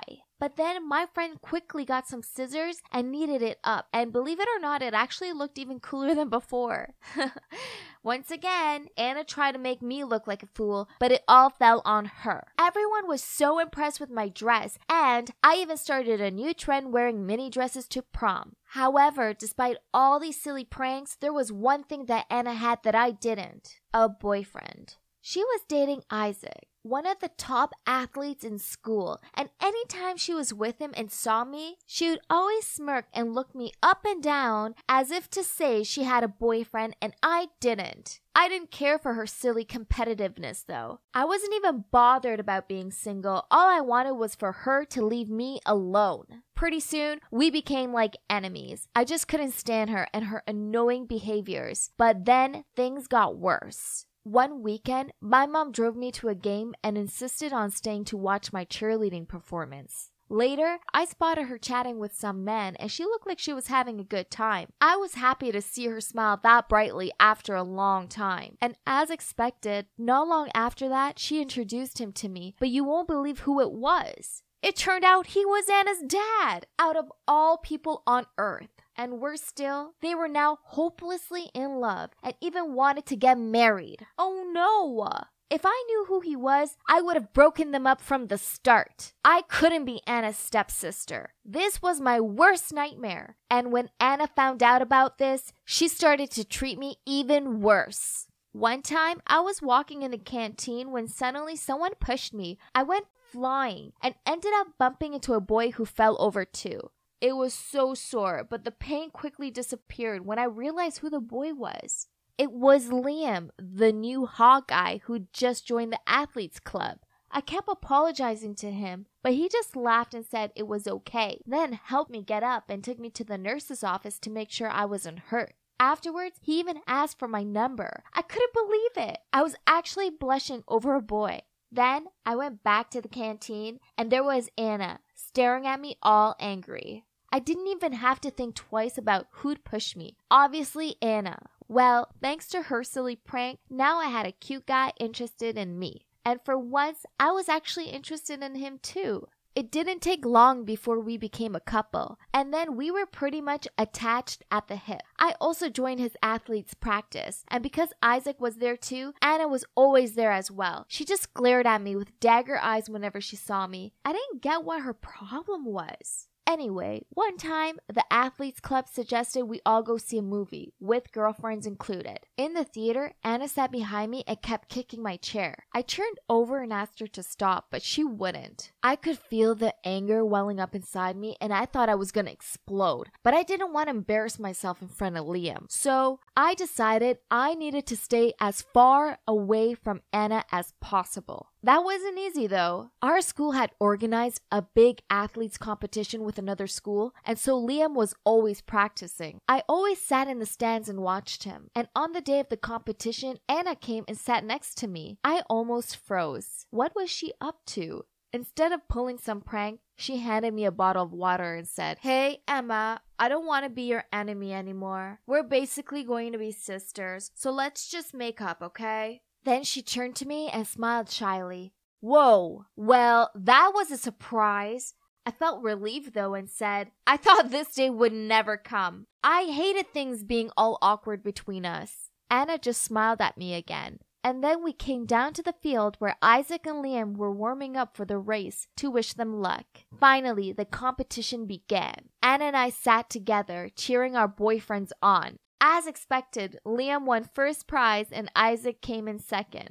I was so happy for Liam and ran out to the field to hug him, but suddenly some of the organizers approached him and escorted him off the field. I had no idea what was going on, but I saw Anna smirking at me and then walking away. What was that for? After a while, the organizers came back and said Liam had been caught doping, so now the first prize would go to Isaac. What? There was no way Liam would do something illegal like that. He'd never used any kind of substance to perform well. He was just naturally talented. Everyone started saying mean things about Liam, and I couldn't bear it. So I went to find him. I saw him sitting in the corner of the locker room looking shocked. When he saw me, he shook his head and said, I didn't use doping. You have to believe me, Emma. I'm not that kind of guy. All I did was drink the water you gave me.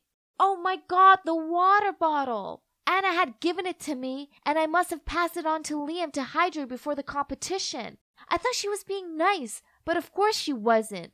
This was Anna we were talking about. She'd planned this. She was seriously too much. I ran to find her and I was raging. She was happily talking to the other athletes, so I grabbed her wrist and pulled her away. How could you? Are you trying to ruin Liam's life? I yelled at her. Anna wasn't even bothered. She just smirked and said, Yep, I am, and so what? I was shaking by that point and I said, You're crazy. Why did you do it? What has Liam ever done to you? I did it 'cause I hate you. You stole everything from me, including Liam. Huh?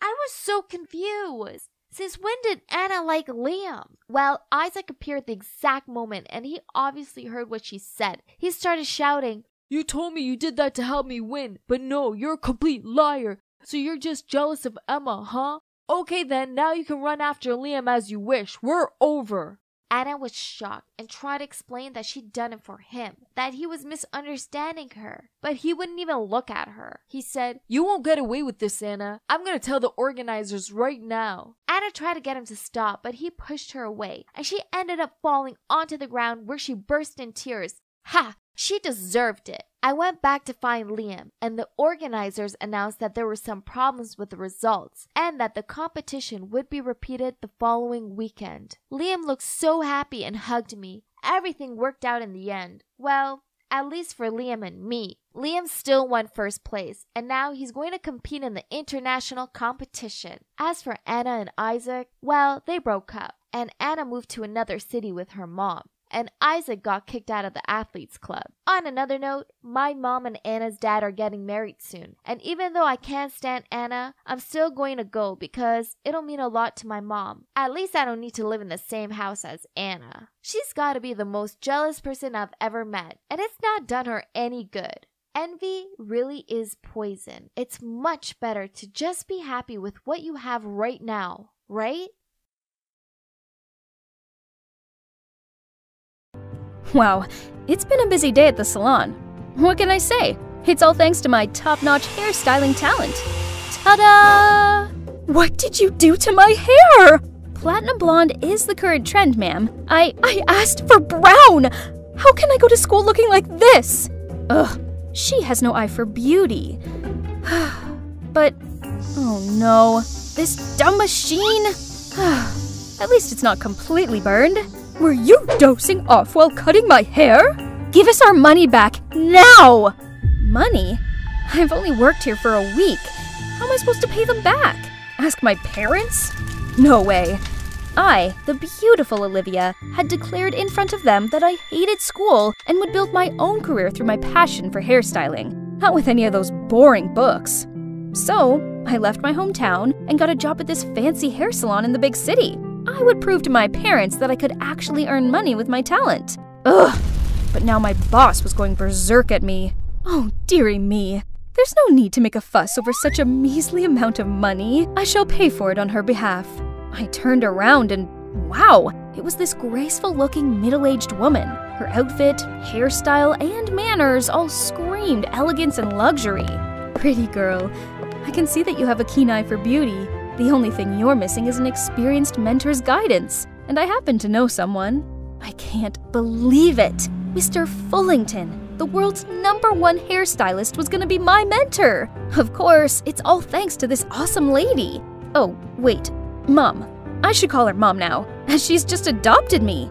She must have taken a liking to me, seeing how determined I was, pursuing my passion despite all hardship. She and her husband are millionaires who couldn't have children, so yeah, they decided to take me in. Man, this is the best thing to happen to me ever!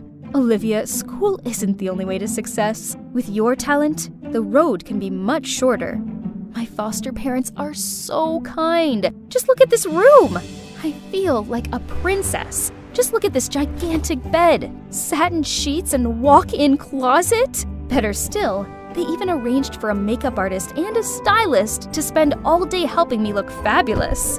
The rich kid's life sure was sweet. I was so immersed in all of it that I almost forgot the main reason why I agreed to do this the hairstyling course with Mr. Fullington.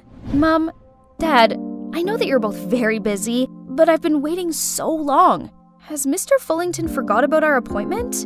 Oh, sweetie, I'm sorry, but he's been sick, so his schedule has all been put off till next month. Don't worry, darling. In the meantime, why don't you try attending some fancy parties on our behalf? It's a good chance to expand your social circle and learn how to make money from all the best. Oh, that sounds pretty good. If I could make lots of money, then my parents would have to take me seriously and stop their stupid go back to school demands. As soon as I arrived at the party, all these new friends gathered around and complimented on how beautiful I looked. The rich guys went crazy for me, too. I instantly became the center of attention. This one guy called Bruce introduced himself as the son of the CEO to the top media corporation in the US. Olivia, that exquisite face of yours was made for the big screen. You should play the leading role in our new movie. Oh, acting? I'd never thought about it before. Hmm, Walking down the red carpet and posing in front of hundreds of cameras did sound appealing. It's worth a try, right? I was still stunned at Bruce's offer when I felt something cool on my finger. Oh my gosh, a sparkly red diamond ring? William, heir to the GeoGems Limited. Pleasure to meet you, Olivia. Please consider this my greeting gift. And this continued all evening until I couldn't hold any more stuff flowers from Justin, a jewelry set from Andrew, a perfume collection from Anthony, and this watch from. Geez, I couldn't remember anymore. I was trying to slip away when a handsome guy blocked me. You're stunning, Olivia. Can I see you tomorrow? A date? I didn't even know him. No, no. What a pity. I'm meeting my old friends at West High tomorrow. Sorry, it's not that I'm picky or anything, but dating can't be that easy, right? Phew, finally home. What an eventful evening. Just then, I got a call from Minnie, my best friend. Minnie told me that some mean girls at school were spreading rumors that I stole money from my parents, then packed up and ran away. Okay then, let them tittle tattle. Tomorrow, I'll show those meanies who's the real deal. Yay! It's so nice to see Minnie again. We immediately chatted nonstop about all kinds of things. Then suddenly, the hyenas appeared with the same sarcastic tone as usual. Wow, counterfeit goods are so well made these days. You know, your supposedly Birkin bag is extremely rare. There's only five of those on Earth, right? Busted! How much do supercar hourly rentals and bodyguards cost nowadays, little Miss Show Off? Minnie was going to defend me, but I stopped her. No need to waste time arguing with these people. Hmm. I then grasped Minnie's hand to leave, but look, Olivia! I looked up. There was an airplane flying at very close range, and it was writing something? O L I V. The white smoke actually spelled out my name! I've only seen this in movies. I gasped in shock as the plane landed, and stepping out of the cockpit was the guy at the party last night, Nathan. Turns out, he was the youngest pilot in America and wanted to impress me with this grand gesture after being rejected yesterday. Flying in the sky is my passion. And, Olivia, I want to be your personal pilot, taking you wherever you want. Oh my goodness, I don't know what was better having a rich, handsome guy going out of his way to impress me, or seeing the astonished looks on my fake friends' faces. Such thrilling days like this should have made me happy, right? But sitting among this mountain of expensive gifts, I couldn't shake this uneasy feeling. Being the center of smitten eyes and receiving countless compliments and gifts was cool and all, but Minnie's words awakened me. Olivia, do you think they really are generous enough to give you all this without asking for anything in return? No, I shouldn't accept these pricey items. I was putting them all back in their boxes to return them when my foster mom walked in. Oh no, darling! Returning gifts is considered very insulting in our society. the world of the rich is so complicated. So I listened to her and dismissed the idea of returning those presents. But I should still return the favor, right? So I agreed to meet some of them. The first person must be the one who impressed me the most Nathan the pilot. His airplane hangar was where we had our first date. I couldn't find anything bad about Nathan, but we just didn't click. He kept on rambling about planes, which model each was, how hard it was for him to get them, blah, blah, blah. while I had no interest in any of this. The next guy, William, was even worse. He not only invited me, but also dozens of other beautiful girls. He even gave each girl a gemstone from his collection. A true player, so obviously a skip. Bruce was easier to talk to, but I soon realized that he had a problem. This set of glassware was custom made by the most skillful craftsman in Switzerland. It's yours if you like. Oh, wait. I'll have someone bring them over later. Look at this beautiful painting. Wouldn't it be perfect in your bedroom? Ah, but it's too big for you to carry home. I'll send it over later. What about my leading role in the movie you mentioned? Huh, I almost forgot. But, Olivia, acting is not as easy as you think. Besides, the entertainment industry is really toxic. Please just be my princess, okay? See? He kept promising me the world and then nothing. What a boastful, stingy liar! I didn't like any of these guys, so I must return their expensive gifts. But as soon as I carried the boxes out of the room, my foster mom stopped me. My silly Olivia, why are you so concerned about this? To them, these things are merely a drop in the ocean. But if you feel uncomfortable, I'll keep them out of sight for you. Giving them back will bring shame to our family. And you don't want that, do you? Alright, that seemed like the best solution. My foster parents had been so nice to me, I shouldn't cause them any trouble. But a few days later, I discovered that they had secretly used my phone to ask Bruce for more presents. He thought I was angry, so he promised me a huge surprise tomorrow. It's weird. Why did they do that? They're as rich as Bruce's family, aren't they? I asked them why, and turned out my foster parents just wanted to test Bruce, as he seemed to be the most persistent in pursuing me, but had not shown his sincerity. Early next morning, I received a call from Bruce, saying that he'd sent someone over with a luxurious car and reminded me about our date tonight. Wait, an entire car? That's too much this time! I was about to tell him to keep it when my foster father rushed in, saying that my parents were seriously ill. Oh gosh. I quickly hung up the phone and immediately went back to my hometown. Dear God, please protect my parents. Surprisingly, my mom opened the door looking perfectly fine, and there was dad as healthy as can be watching TV. Thank goodness. My foster dad must have made a mistake. It's been a while since I was home, so I decided to stay the night. And as we were having some family time, I got another call from Bruce Oh no. I forgot to cancel our date. And now he's at the mansion waiting for me. The problem was, Bruce couldn't find his sports car anywhere and kept on making a fuss about it. I tried calling my foster parents to resolve this, but I couldn't contact them the whole evening. The morning after, I returned to the mansion to find strangers going in and out. Um, what are you all doing? Hi, we're moving in. Great to meet you, neighbor. It's such a catch to find a good place like this up for rent at reasonable prices, right in the local newspaper. Am I right? For rent? No, no, no.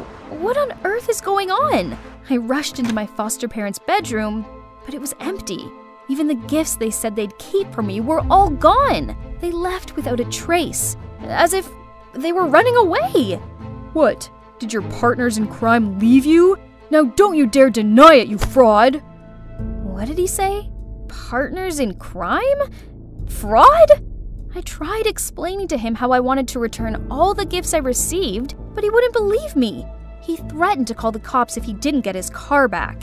Oh no, no way that's gonna happen. All I could do was beg Bruce to give me some time. This is the home of our town's famous sheriff. He's the only person who could help me, but all I got was, I'm sorry, but I'm retired. You're gonna have to ask someone else. What to do now? I was freaking out when, out of nowhere, no need for my dad. This is a piece of cake. I can give you a hand. I turned around to see a guy leaning on the door with a cold, arrogant look and his arms crossed. Who is this guy? Can he really help me? We'll see. Wow, Alan really took the risk and invested a lot in this. A sports car, a mansion, expensive trips, and even this huge event. I have to admit, he looks quite handsome being all dressed up. Oh, I forgot to tell you. Alan, yep, the sheriff's son, is playing the rich heir of a big corporation chasing after a beautiful young lady, which is me. However, I didn't expect things would turn out so real. Alan's pursuit of me even made it on the local news. You guys must be curious how someone who's not a millionaire did this. Well, Alan convinced Bruce to fund our plan. He was hesitant at first, but he soon realized that this was the only way to catch the frauds and get his stuff back, so reluctantly he agreed. Alan is indeed a genius, and his well thought out strategy quickly got the fish hooked. We were making headlines everywhere, and I finally received a text from my so called foster mom. At first, she was just asking how I was doing and talked about how busy they were with overseas projects. Until today. Olivia, how's it going with that mysterious millionaire boyfriend of yours? He seems willing to give you anything. So you will consider him, won't you, darling? As expected, these money hungry crooks wouldn't let it slide once they heard millionaire, so I replied to her that my rich man was treating me well and wanted to throw an extravagant feast this weekend to officially announce our relationship. And I hoped my parents could put off their business trip and come join us. Tonight was the night. Gosh, I was so nervous, as my mom didn't reply to that message of mine. Will they show up or did they sense something was off? While I was super nervous, Alan came to me and held my hand real tight. Don't worry, Olivia. Everything will work out as planned. My, my. What is this feeling? It's undeniable that I always feel so safe being with Alan. The party finally began. Alan proposed to me with this rare, precious serendibite gem on a ring, which is one of the only three existing in the whole world. Everyone started buzzing. Alan's acting was so perfect, from his eye contact to the words he said, that I couldn't help but feel butterflies in my stomach. I. I do. When the party was over and all the guests left, I received a call from my foster mom telling me to go to the back gate. As predicted, they offered to keep the engagement ring for me. Drop the act, frauds! The two were still processing what was happening when the cops barged in and arrested them. It worked! Can't believe I've successfully tricked these notorious scammers. what about my car? My Bugatti? Where is it? Oh, I almost forgot the main sponsor for this perfect plan. Without him, we definitely couldn't pull this off. Our stingy millionaire Bruce Dillon. I bet there hasn't been a single day gone by that he didn't think about his missing gifts, huh? that reminds me. This sparkling, precious ring, too. I quickly took it off, passed it to Alan, and told him to give it back to Bruce. But the minute the Serendibite ring left my finger, Alan put on something else. Oh my god, another ring? Your role as a millionaire's girlfriend may be over, but will you be a girlfriend to an ordinary guy like me, Olivia? Yes! A million times yes! After all this mess, I now realize that I've still got a lot of learning to do. So I've decided to listen to my parents and finish school. Turns out, if I really paid attention in class, it's actually pretty interesting. And Minnie is still my amazing BFF, who let me have free rein to experiment on her hair. And of course, this cute future detective, too. Babe, time to change your hairstyle.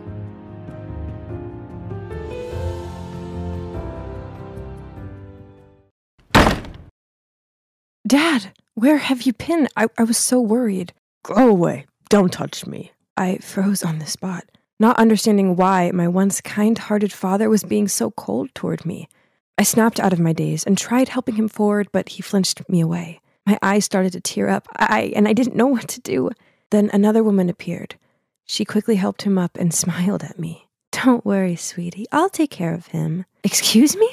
Who was she? My mother had barely been put in the ground, and Dad had already moved on? I couldn't watch any more of this, so I quickly left the room. How could things go downhill this quickly? My life used to be so simple and perfect. I had a loving family. I was always on top at school. People always complimented me on how I inherited both the beauty and intelligence of my mom and dad. But then a traffic accident happened and took mom away from us.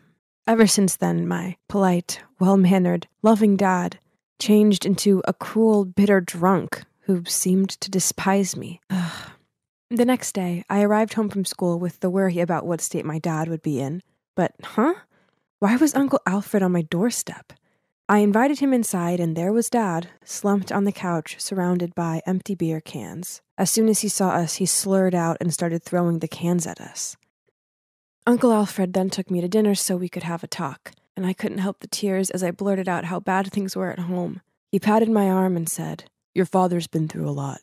I think it's best if we give him time to sort himself out. I think you should come live with us for a while. So that's how I ended up living with Uncle Alfred, Aunt Madeline, and my cousin Charity. At first, everything seemed fine. As bad as it sounds, it was a relief to be away from Dad and to be able to properly process my thoughts for once. I was so grateful to Uncle Alfred for giving me a second home. But then he went away on a business trip, and everything changed. I was walking back to my room when Charity appeared in her doorway and tripped me up. As I stumbled and landed on my hands and knees, she snorted out, Yes, that's right. Bow down to your queen, you hideous peasant. You should know your place in this house. Ugh, that girl was such a pain. Since her dad went away, she wouldn't quit tormenting me.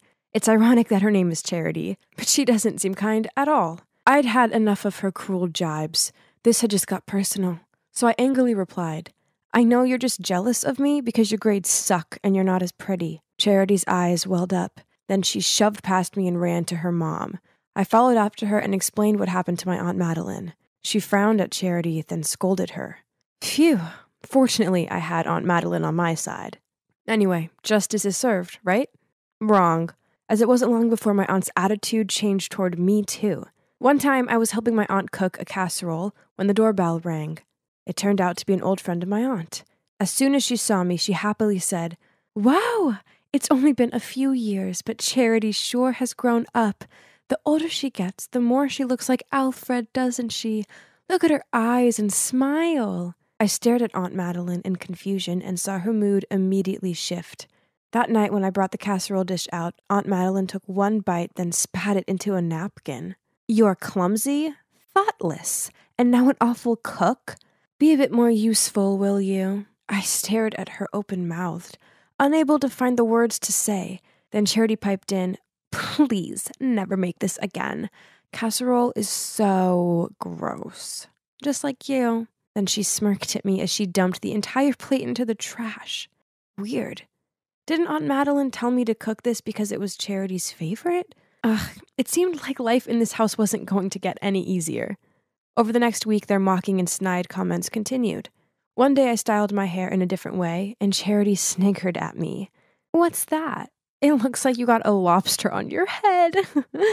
Have you ever considered dyeing your hair, by the way? Because blonde really doesn't suit you. On another occasion, I was invited to a party, so I put on this cute dress, but when I walked downstairs in it, they both stared at me. My aunt said, Oh, dear.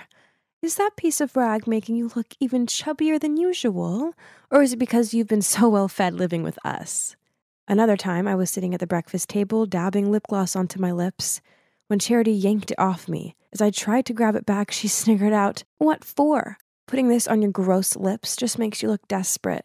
No one wants to kiss you anyway. Gosh, my patience with this girl was wearing very thin. Worse still, Aunt Madeline overheard the whole thing, but she just laughed.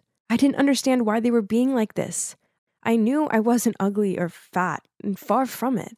I know I'm pretty, as I was always complimented on my glossy long hair. Well, until I moved here, anyway. This was so confusing. Why were they jealous of me? It turns out that being too beautiful was not easy. Ugh. Things got trickier when my dad, who's also the school principal, returned to work after his time off. He totally ignored me, and it made me feel terrible. then I arrived home from school to Aunt Madeline fussing over me and asking if I wanted anything to eat. Huh? What? Oh, I see.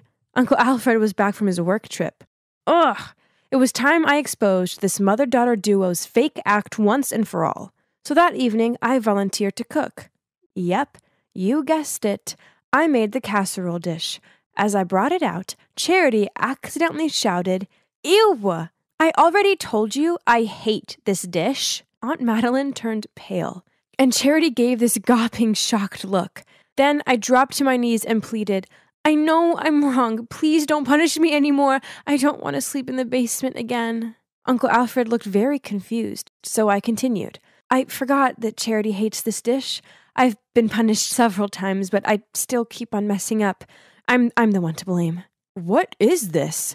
I go away for a few weeks and come back to carnage? He ordered Aunt Madeline into their room for a private chat. We're not even related. don't expect my mother and I to be nice to you, she said, then stormed off. What? What did Charity mean? Of course we were related. Aunt Madeline was my dad's sister, right? I wanted to know what was going on, so I hid behind the door and listened in on their conversation. Tell me the truth. Teresa is your child with Claire, isn't she? I was taken aback. Claire? My mother? Had I misheard her? I know. Mark told me.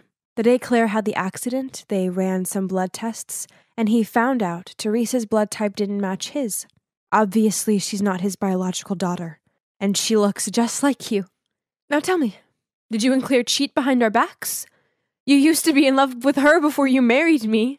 So dad treated me like that because he found out I'm not his own daughter? And Alfred and my mom used to be in love bef- before she got married to my dad? Explain to me! Enough! Alfred finally spoke up. I have nothing to explain to you. Hearing footsteps toward me, I rushed to my room, closed the door, then crawled into my blanket, pretending to be asleep. Suddenly, I heard the door open. It was Alfred. Teresa, let's get out of here. I packed a bag and left with my Uncle Alfred. We moved into a small apartment not too far from his house. Even though he took care of me a lot, he never mentioned that day ever again. I didn't dare to ask either. So we just let it slide. He had to be my real dad, right? He just wasn't ready to talk about it yet. I tried to avoid Charity as much as possible, but this wasn't always easy as we went to the same school. It wasn't like I was scared of her or anything, it was just awkward. Then one day, I walked along the corridor to see flyers stuck to lockers, doors, windows, and floating around the floor. They all had a picture of my face on them, and scrawled across them was This fraud is the product of her cheating mom and a married man. Everyone was giving me dirty looks and whispering about me, I panicked and rushed out of there, but I wasn't looking where I was going and bumped straight into a jock, and standing next to him was Charity. Enjoy the fame? These flyers were specially made for you. Right at that moment, my father appeared holding a flyer. He waved it in front of her. What is this? Who allows you to trash the school with this rubbish? Leave Teresa alone. I couldn't cope with my father right now, so I ran off to class. That afternoon, I heard the school speaker announce that everything written on the flyers was lies and Charity would be in detention. Once the last bell rang, I just wanted to get home and hide away from the world. But as I walked outside, I saw my dad waiting for me at the gate. I had nothing to say to him, so I ignored him and walked off. Please, Teresa, at least hear me out. I stopped on the spot, then walked over to him. I guess it was time I found out the truth. So, turns out, yes, I'm not his daughter. But I wasn't Uncle Alfred's daughter either. I found this, and it made me feel so guilty, he said. He showed me an artificial insemination certificate file. Turns out, after years of trying, my parents went to run some tests, and my dad was diagnosed as infertile. Mom didn't want him to be upset, so she secretly got artificial insemination and gave birth to me. It was never your mom's fault, and I was wrong to treat you like that. I'm I'm so sorry. A fresh ran of tears streamed down my face with each word I heard from him. Teresa, I'm so sorry that us adults, selfishness and bitterness has hurt you. Startled, I turned around to find that Uncle Alfred was already there behind me. I guess he'd come to pick me up, and I didn't notice since I was talking to my dad. He must have heard the whole story. Alfred and I will do anything to make it up to you. Even if you want to find your biological dad, we'll try our best. I looked at him and Uncle Alfred thinking, there's no need to, as I've already got two amazing dads.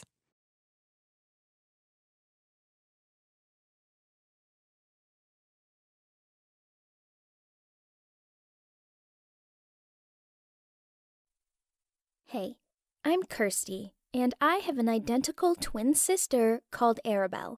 We didn't have a normal upbringing, as our mom abandoned us at an orphanage when we were six. We have our mom's dark blue eyes.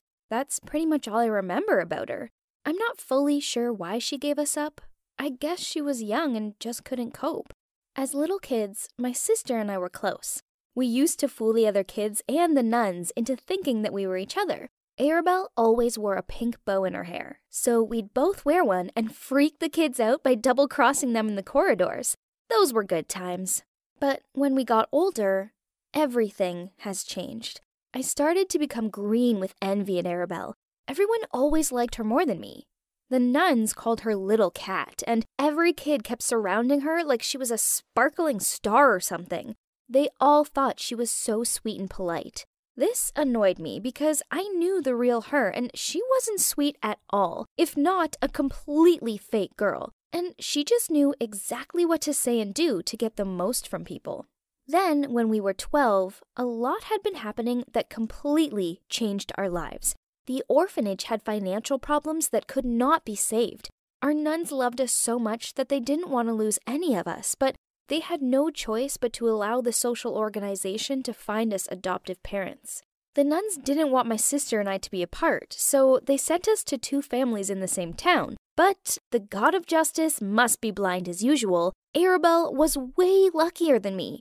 She was adopted by a wealthier family. My parents loved me anyway, but, well, she received all the best things, and that was just not fair. We went to the same school, and I was so sick of listening to her bragging. When we were at the orphanage, we used to wear the same kind of clothes, but now things were different. Arabelle always stayed in style, wearing the most beautiful clothes. So, while although we are identical twin sisters, whenever we stand next to each other, she would be like a queen and I would be a maid. She easily got everything I ever wished for princess bed, a large window with a sea view, piano and ballet classes, and an amazing mom and dad.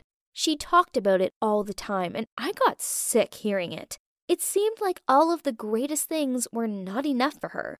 She didn't appreciate what they gave her and just always wanted more. If I were her, I would enjoy that dream life with gratitude and respect everything I got. Life was so unfair. Why did Arabelle always have the best while a girl like me was suffering from the day I was born? Adopting one part of a twin made our two new families close. My new family was always visiting Arabelle's big house for barbecues and nice dinners. To be honest, I did not want to go there at all. It was not a simple family meeting, it was just an event for her to show up. Her parents were so nice, and just by looking at the way they treated her, I could tell that they loved her so much. They often patted her head and called her puppy. Arabelle acted all sweet, then, behind their backs, she said this nickname made her feel sick, as she wasn't five. No one seemed to realize the truth. Arabelle was absolutely not as cute as they ever thought.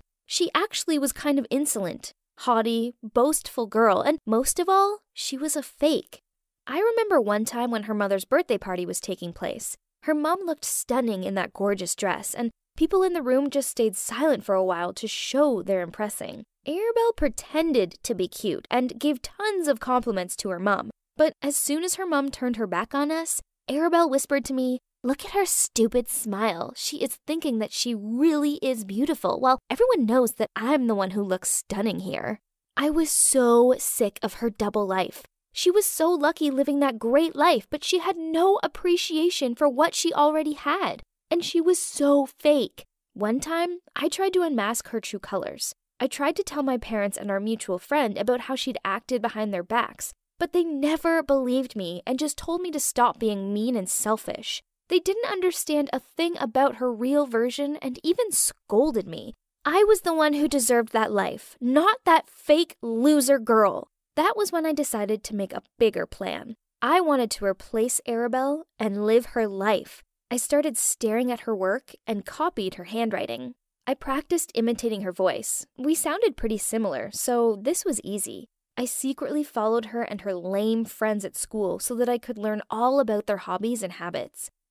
My family was not as wealthy as theirs. I could only stand outside the restaurant, the clothing store, or the cinema. Watching Arabelle enjoy the good life just made my determination grow. When our families met up, I made an effort to get to know her parents more. Her mom likes playing the piano, and her dad likes taking care of his bonsai trees. Her mom can't eat seafood, and her dad is allergic to peanut butter.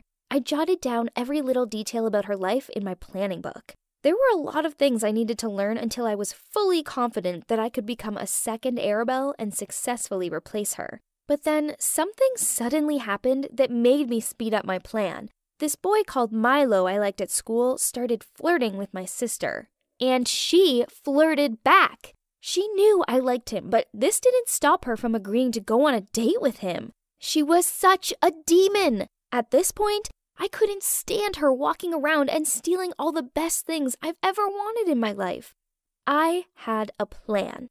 Back when I was in the orphanage, there was a man who often came to us and said impolitely to the nuns that they should sell him some children to solve their financial worries. Of course, the nuns refused him and kicked him out. He continued to come over a couple of times, and once he gave us his phone number, saying that if any of us got into trouble, we could find him. Then the nun showed up and threatened to call the cops. Well, that was the last time I saw him.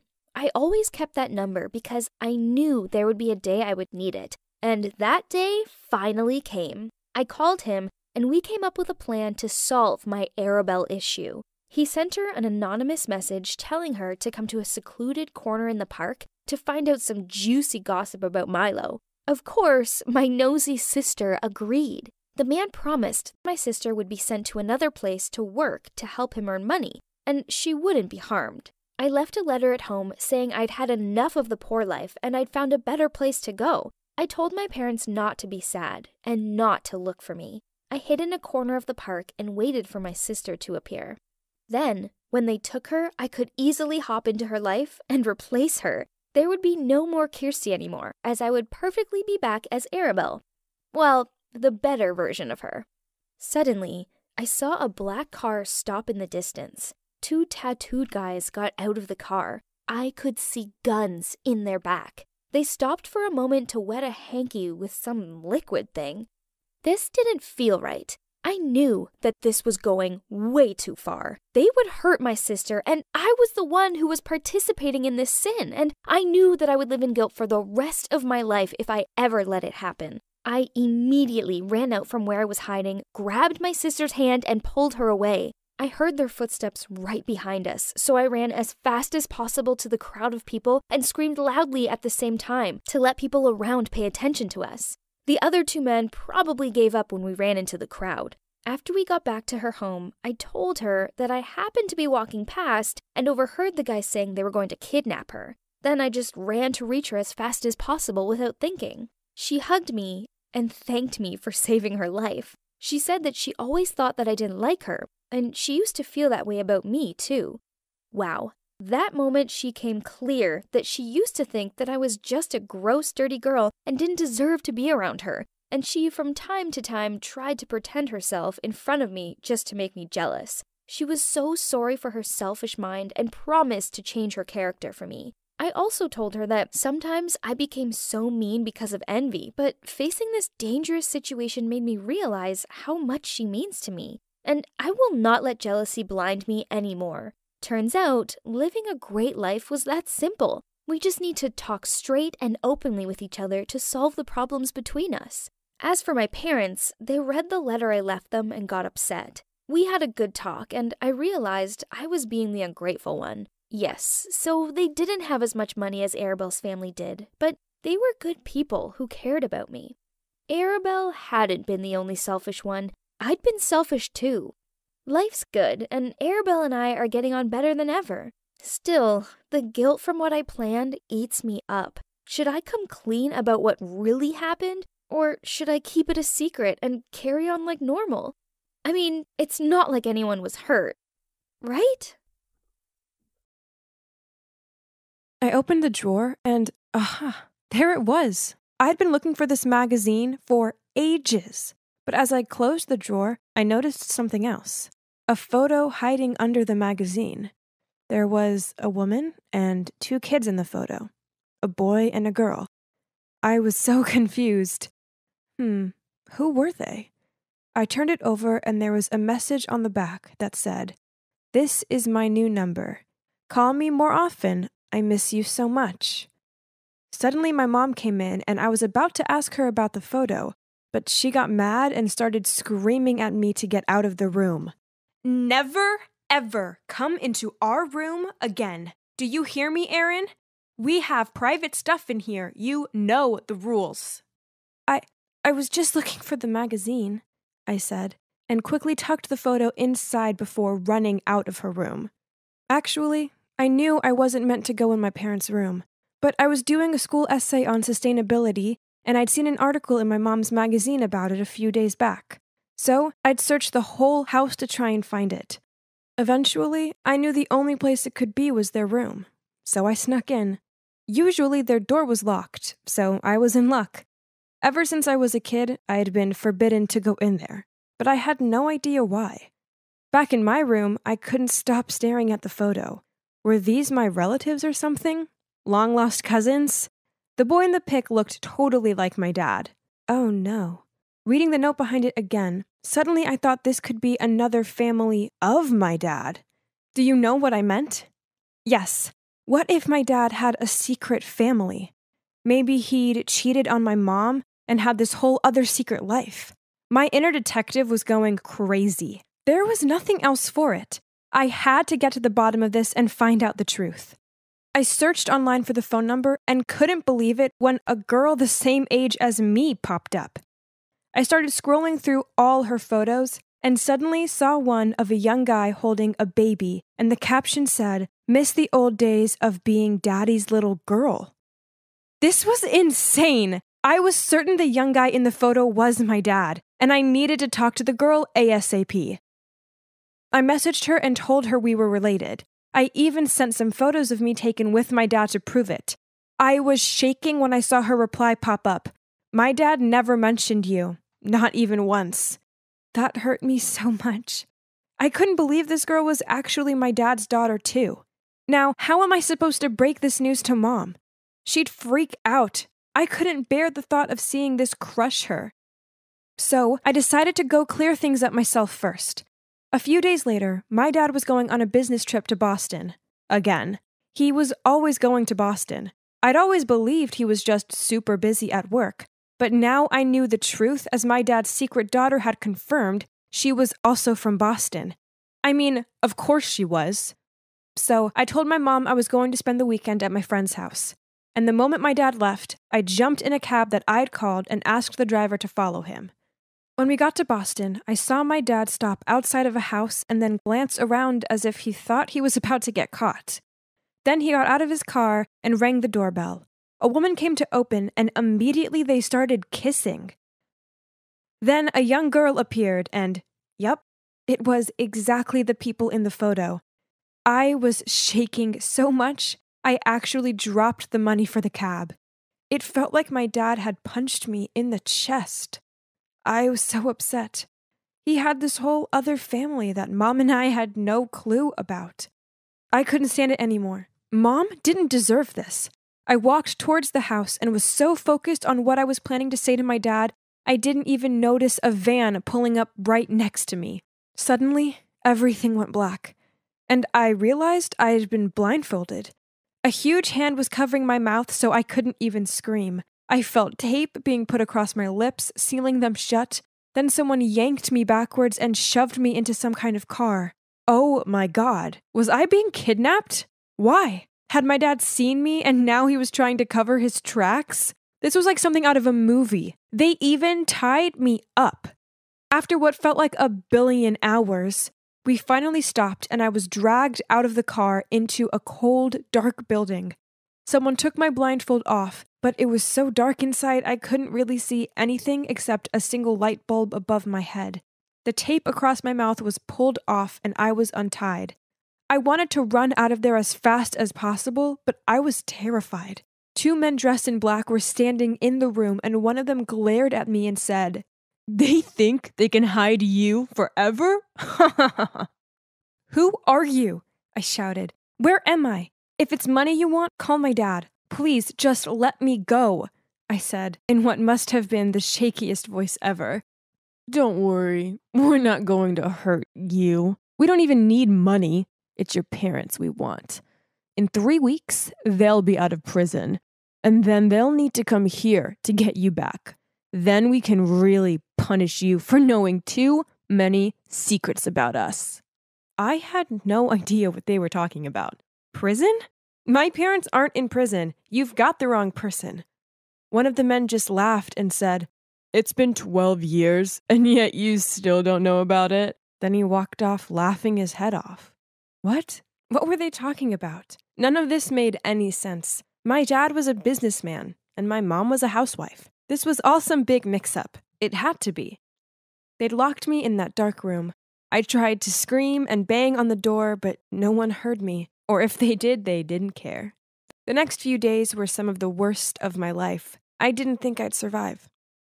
Twice a day, someone slipped food under the door, and I spent most of the time trying to think of ways to escape.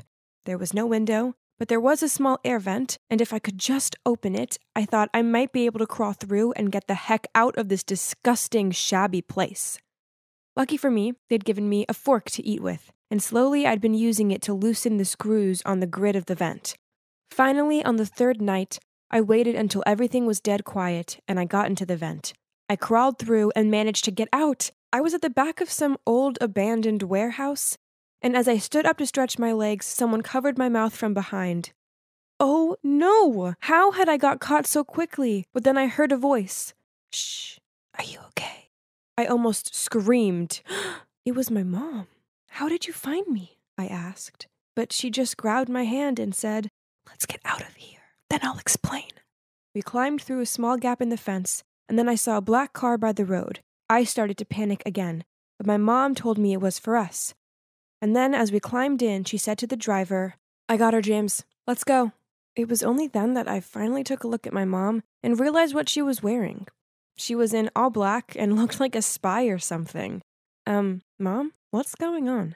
My mom bit her lip and said she couldn't hide it from me anymore. What she told me next was unbelievable. Turns out my parents weren't even my real parents. My biological mom and dad used to be members of this mob, but 12 years ago they'd been given an impossible task and they refused to do it, so their boss said he'd harm me as their punishment. My parents had no choice but to turn themselves in and ask the police for protection for me. In return, they gave the police some confidential info about the mob. Whoa, I was shocked. So, you're not my mom? My real parents are in prison? I felt like my head was spinning. How could my life get so crazy? Yep, they're in prison. Back then, the police stormed into the mob's headquarters, but the boss had managed to escape. That's why we put you in the protection program because we knew he'd come search for you. This was too much. I didn't want such a dramatic life. Then I suddenly remembered there was more drama. Mom, um, I found out Dad was cheating on you, so I followed him here to Boston. Did you follow him too? I mean, how did you find me? This was so weird. My mom didn't look sad at all. She said, Actually, he wasn't cheating. That woman and those kids are his family. You see, at the time, he and I were the only two people qualified enough to adopt you. So he actually left his family to fake our family life to protect you. It was all part of the protection program. But he missed his family so much. That's why he went back to see them most weekends. I'm so sorry, Aaron. We didn't expect it to turn out like this. When you didn't come home on Sunday, I used the GPS we set on your phone, and that's how I found you. Okay, my head was spinning even more. Not only were they not my real parents, they weren't even a real couple. This was absolute insanity, and all to protect me? Wow. And as it turns out, it worked out pretty well, because by tracking me, they found the new boss's hideout, and now the police had arrived and he was finally being arrested. As for me and my family, we had to pretend to be a real family, for now. And actually, it wasn't that hard because I loved them so much, and they'd sacrificed the past 12 years of their life to protect me. I'd be eternally grateful to them, and my biological parents would be out of prison soon, and then I'd be reunited with them. I don't remember anything about them, but they also sacrificed their lives to protect me, so they must be pretty amazing, right? I was sitting in the reception with an ice pack pressed to my head, waiting for my mom to come pick me up. Ugh, that stupid rogue ball during PE! Oh, there she was, glamorous as always. She rushed over and hugged me, checking if I was okay. Then she guided me out of there and along the hallway. A group of teenage boys stopped dead and stared open mouthed as we walked by. One even wolf whistled. Even my math teacher, who was walking out of his classroom, started readjusting his tie and waved over at us. No, those reactions weren't for me. They were for my mom. She's just too beautiful to ever be fazed by how men act around her. On the way back home, I got a message from my bestie, Minnie. I bet men would all compete to win a date with your mom. She was like a goddess earlier. I giggled to myself. The thought of a bunch of adult men competing to win my mom's affection amused me. I couldn't understand why my mom was still single. She's gorgeous, successful, and a really kind person. And I guessed she'd enjoy having a man about the place, right? Okay, so Minnie wasn't being serious, but the more I pondered on it, the better the idea became. So I messaged her back. Tell me more about that contest idea of yours. Then one time, when my mom was away on a business trip, I invited Minnie around. We spent all evening posting about the auditions online and handing flyers out around town. Soon, the applications came flooding in. Oh boy, some were handsome, but some, yeah, they were so not. Um, delete, definitely. We got everything ready to spend hours sifting through all the applicants. Gotta be strict, because the chosen one had to be perfect like Prince Paris to match with a woman like my mom, whose name is actually Helen. Finally, we whittled them down to a top 10 list, and we invited them along to round one. Fitness is important, right? Well, at least that's what Minnie says. So we set up an assault course at the local park. All the guys showed up, including Mr. Swanson, my gym teacher.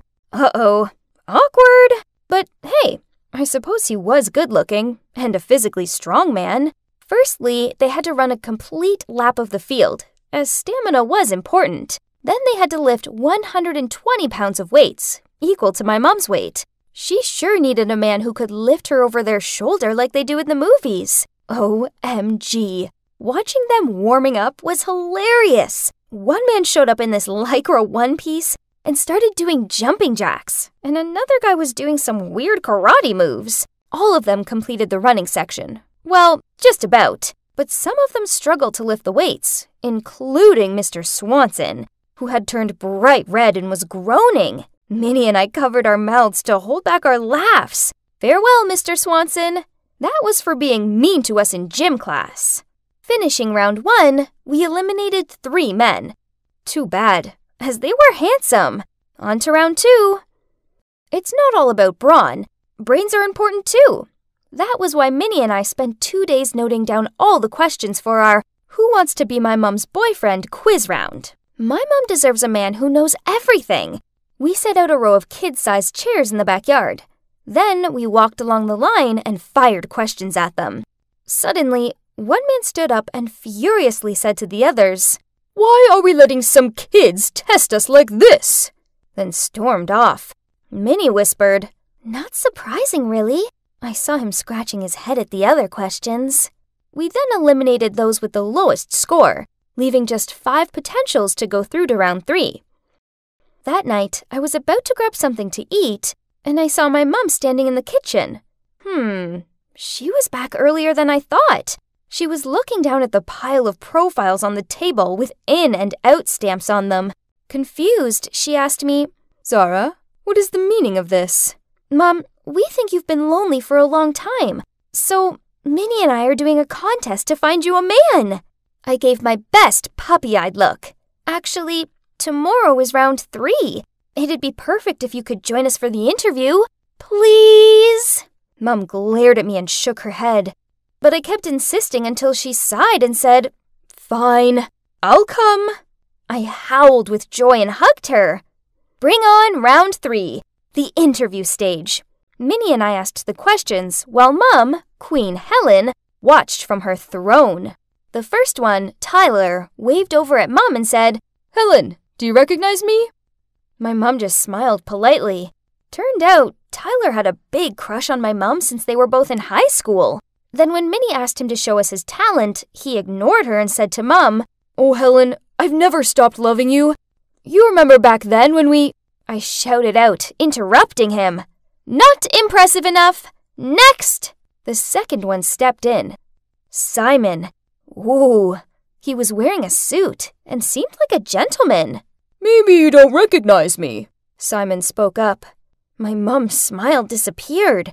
I'm Simon, the head of the engineering department in our company. Simon must have had a crush on my mum for a long time, but she sure didn't even know he existed. His talent performance was to help fix two faulty computers in my house. Hmm, useful, but honestly, it wasn't rocking enough. Plus, him being my mom's colleague was awkward. Duh! As soon as the third one, James walked in, Mum sat up with a surprise. Helen, I miss you so much, he sincerely said. Mom immediately motioned me to eliminate him, then got up and went inside. It was revealed that James was her ex boyfriend from their college days. Okay, creep. Oh well, two guys left. The next one was so dreamy. He looked like he belonged in a boy band. Minnie and I clasped hands excitedly. Hi, I'm Daniel. Nice to meet you, ladies. Daniel's smile totally melted Minnie and I. I don't know if you ladies know, but I live on this street. Seriously? How did I not know a handsome neighbor like this? He then took out his guitar and played a song. OMG, this guy deserves straight A's. But he was only 21 years old. That was way younger than my mom. Andy was the last one of all. Very handsome and sweet. For his talent, he'd make us cupcakes. These lovely little ones are specially made for you, lovely ladies. He smiled. Oh, how charming! In the end, Minnie and I sat together and discussed our options. Well, the result was quite obvious. I excitedly announced, We've made our decision. My new daddy, the chosen Prince Paris to my mom Helen, the champion is. Andy! He looked chuffed and grinned over at my mum. Still, my mum maintained that polite smile and remained silent. Yay! This was great! I finally had a father. Moreover, this one makes awesome food. I couldn't wait for their first date. Eek! Now let me tell you, the date went amazingly. Andy took my mom and I to this fancy restaurant in town.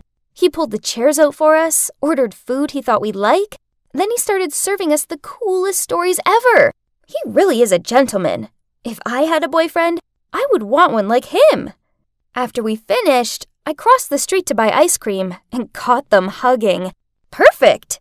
Looked like things went well. Oh, Andy, I could already imagine the life where he was family.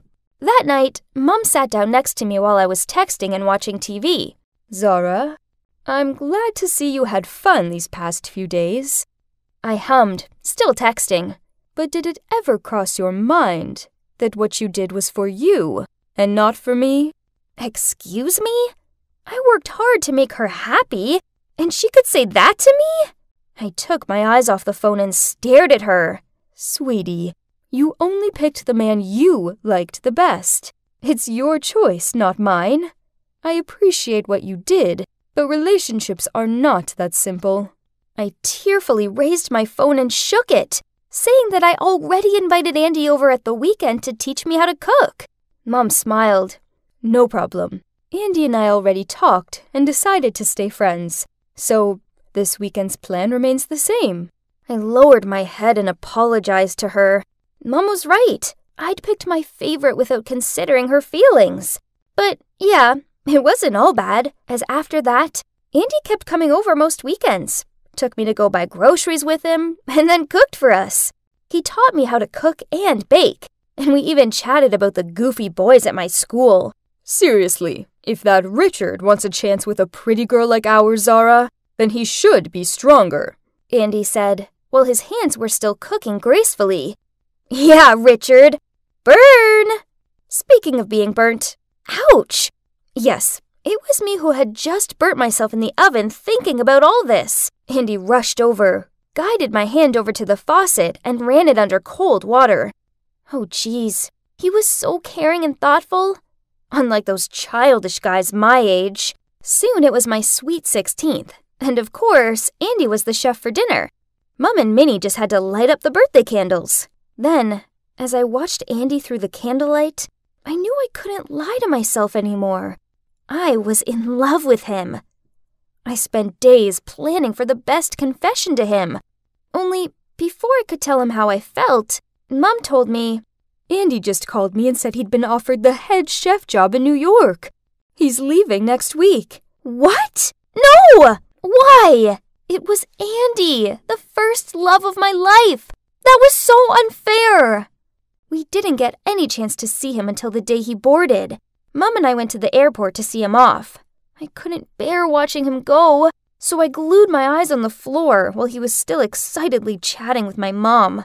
Zara, use what I taught you to take good care of your mother, okay? Andy winked and patted my head. I couldn't help myself any longer. I burst into tears, hugged him, and sobbed out, Andy, I love you. Please don't go. Don't leave me. I can't live without you. For a moment, the whole airport, including my mom, was stunned. All eyes were on me. Andy immediately pushed me away, clearing his throat, and said, Zara, you're a lovely, pretty, sweet girl. You will find a suitable boyfriend. Then he turned to Mum. Best wishes to you both. Bye, Helen. Bye, Zara. And I watched him walk away with tears streaming down on my face. Well, it's been six months since then, and I eventually realized that my feelings for Andy were just a teenage confusion. I did love him, yes, but it was more like admiring and respecting him as a father figure. Anyway, I do have a new dad now, but it was my beloved mum's choice. His name is Harris, and he might not be as good a cook as Andy, but he's a nice guy, and he makes her happy. And of course, we still keep in touch with Andy, both his career and his love life are doing really well in the Big Apple. I've learned my lesson. Life's full of choices, some good and some not so good.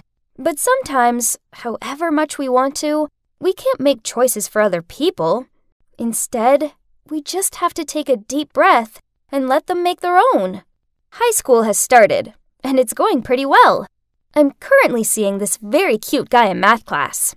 Guys my age are not that bad, to be honest. Minnie's not so bad on herself either, as she's now dating that musician Daniel and enjoys touring around with him whenever he plays at concerts. What a happily fulfilled ending for everyone, isn't it?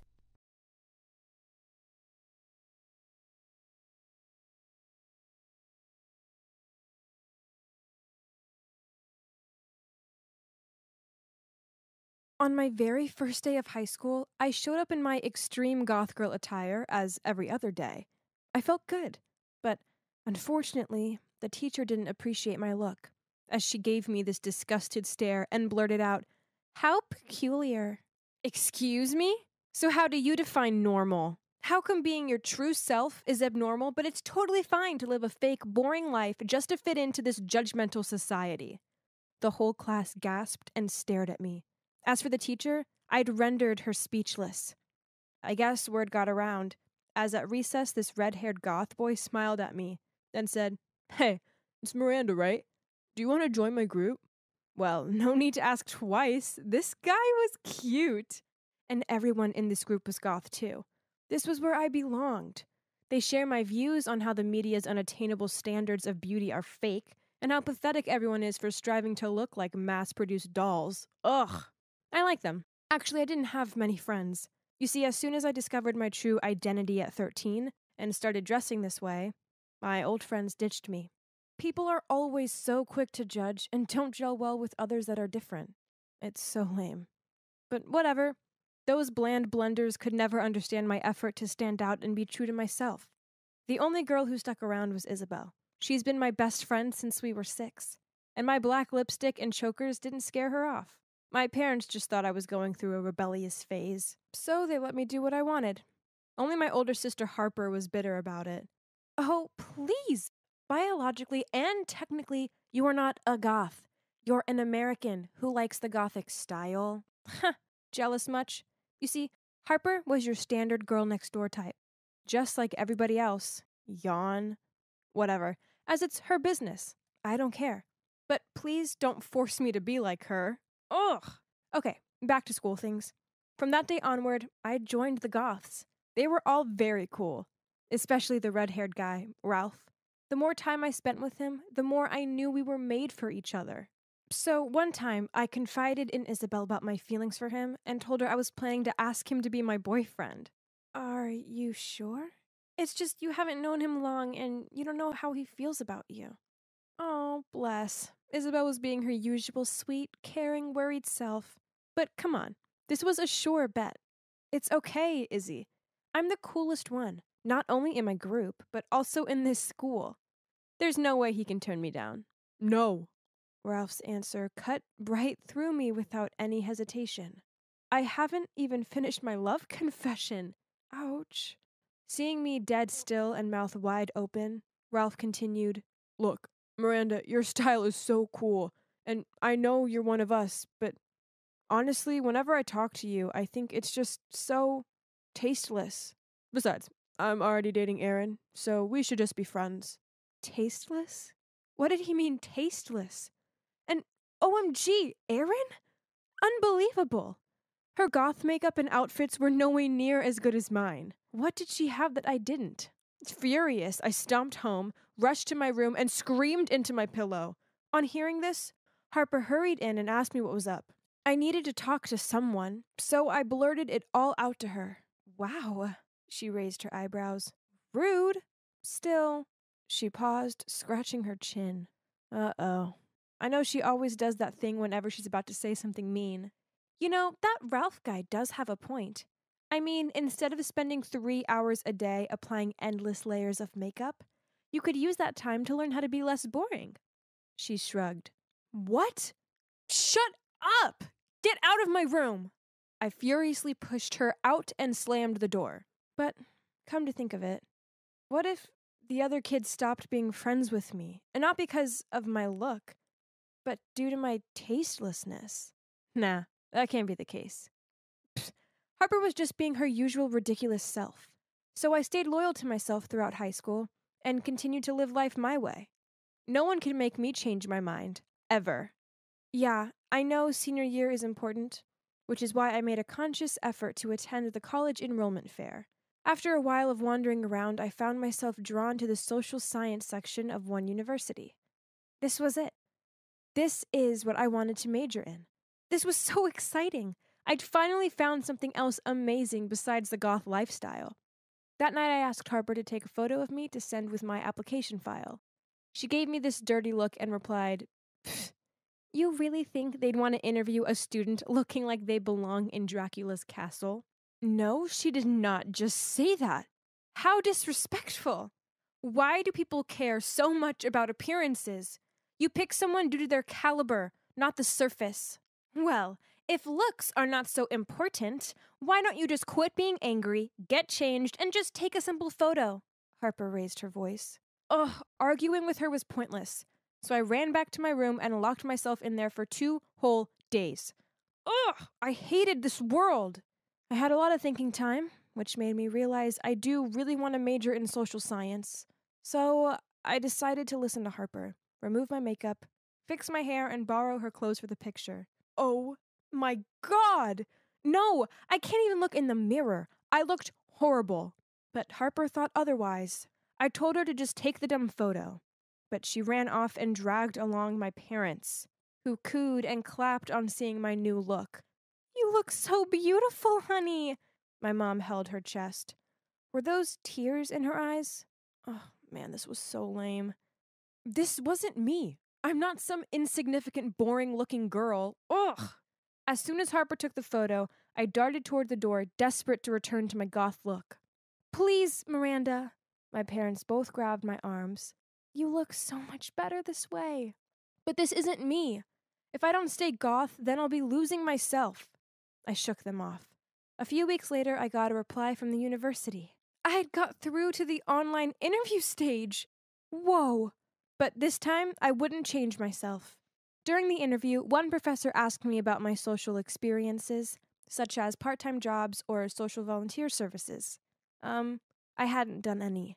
I'd thought of that once in a while, but due to my goth look, I didn't get to work anywhere. I admitted that to the professor and proudly announced being goth is my true identity.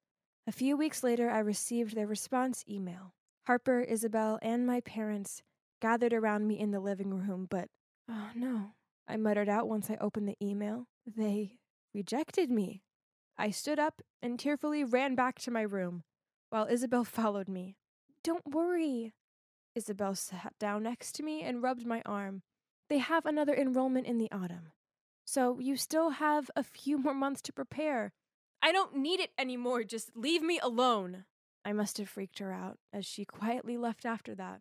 The next day, I was so bummed out, so I went to see my goth friends. Surely my own kind would make me feel better, right? People are ridiculous, but no one can stop us from being ourselves, Ralph heroically said. Well, I didn't feel any better, but at least there was someone on the same page with me. Still in a frustrated mood, I later on skipped dinner and went straight to my room. Harper then entered my room and talked to me in a serious tone. Stop sulking. I've seen that email and your profile. Here's the ugly truth they didn't reject you because you're a goth. They rejected you because you're just a bland person with below average grades and no social experience whatsoever. I threw my pillow at her, demanded she leave my room right now and never come back. But that night I couldn't sleep.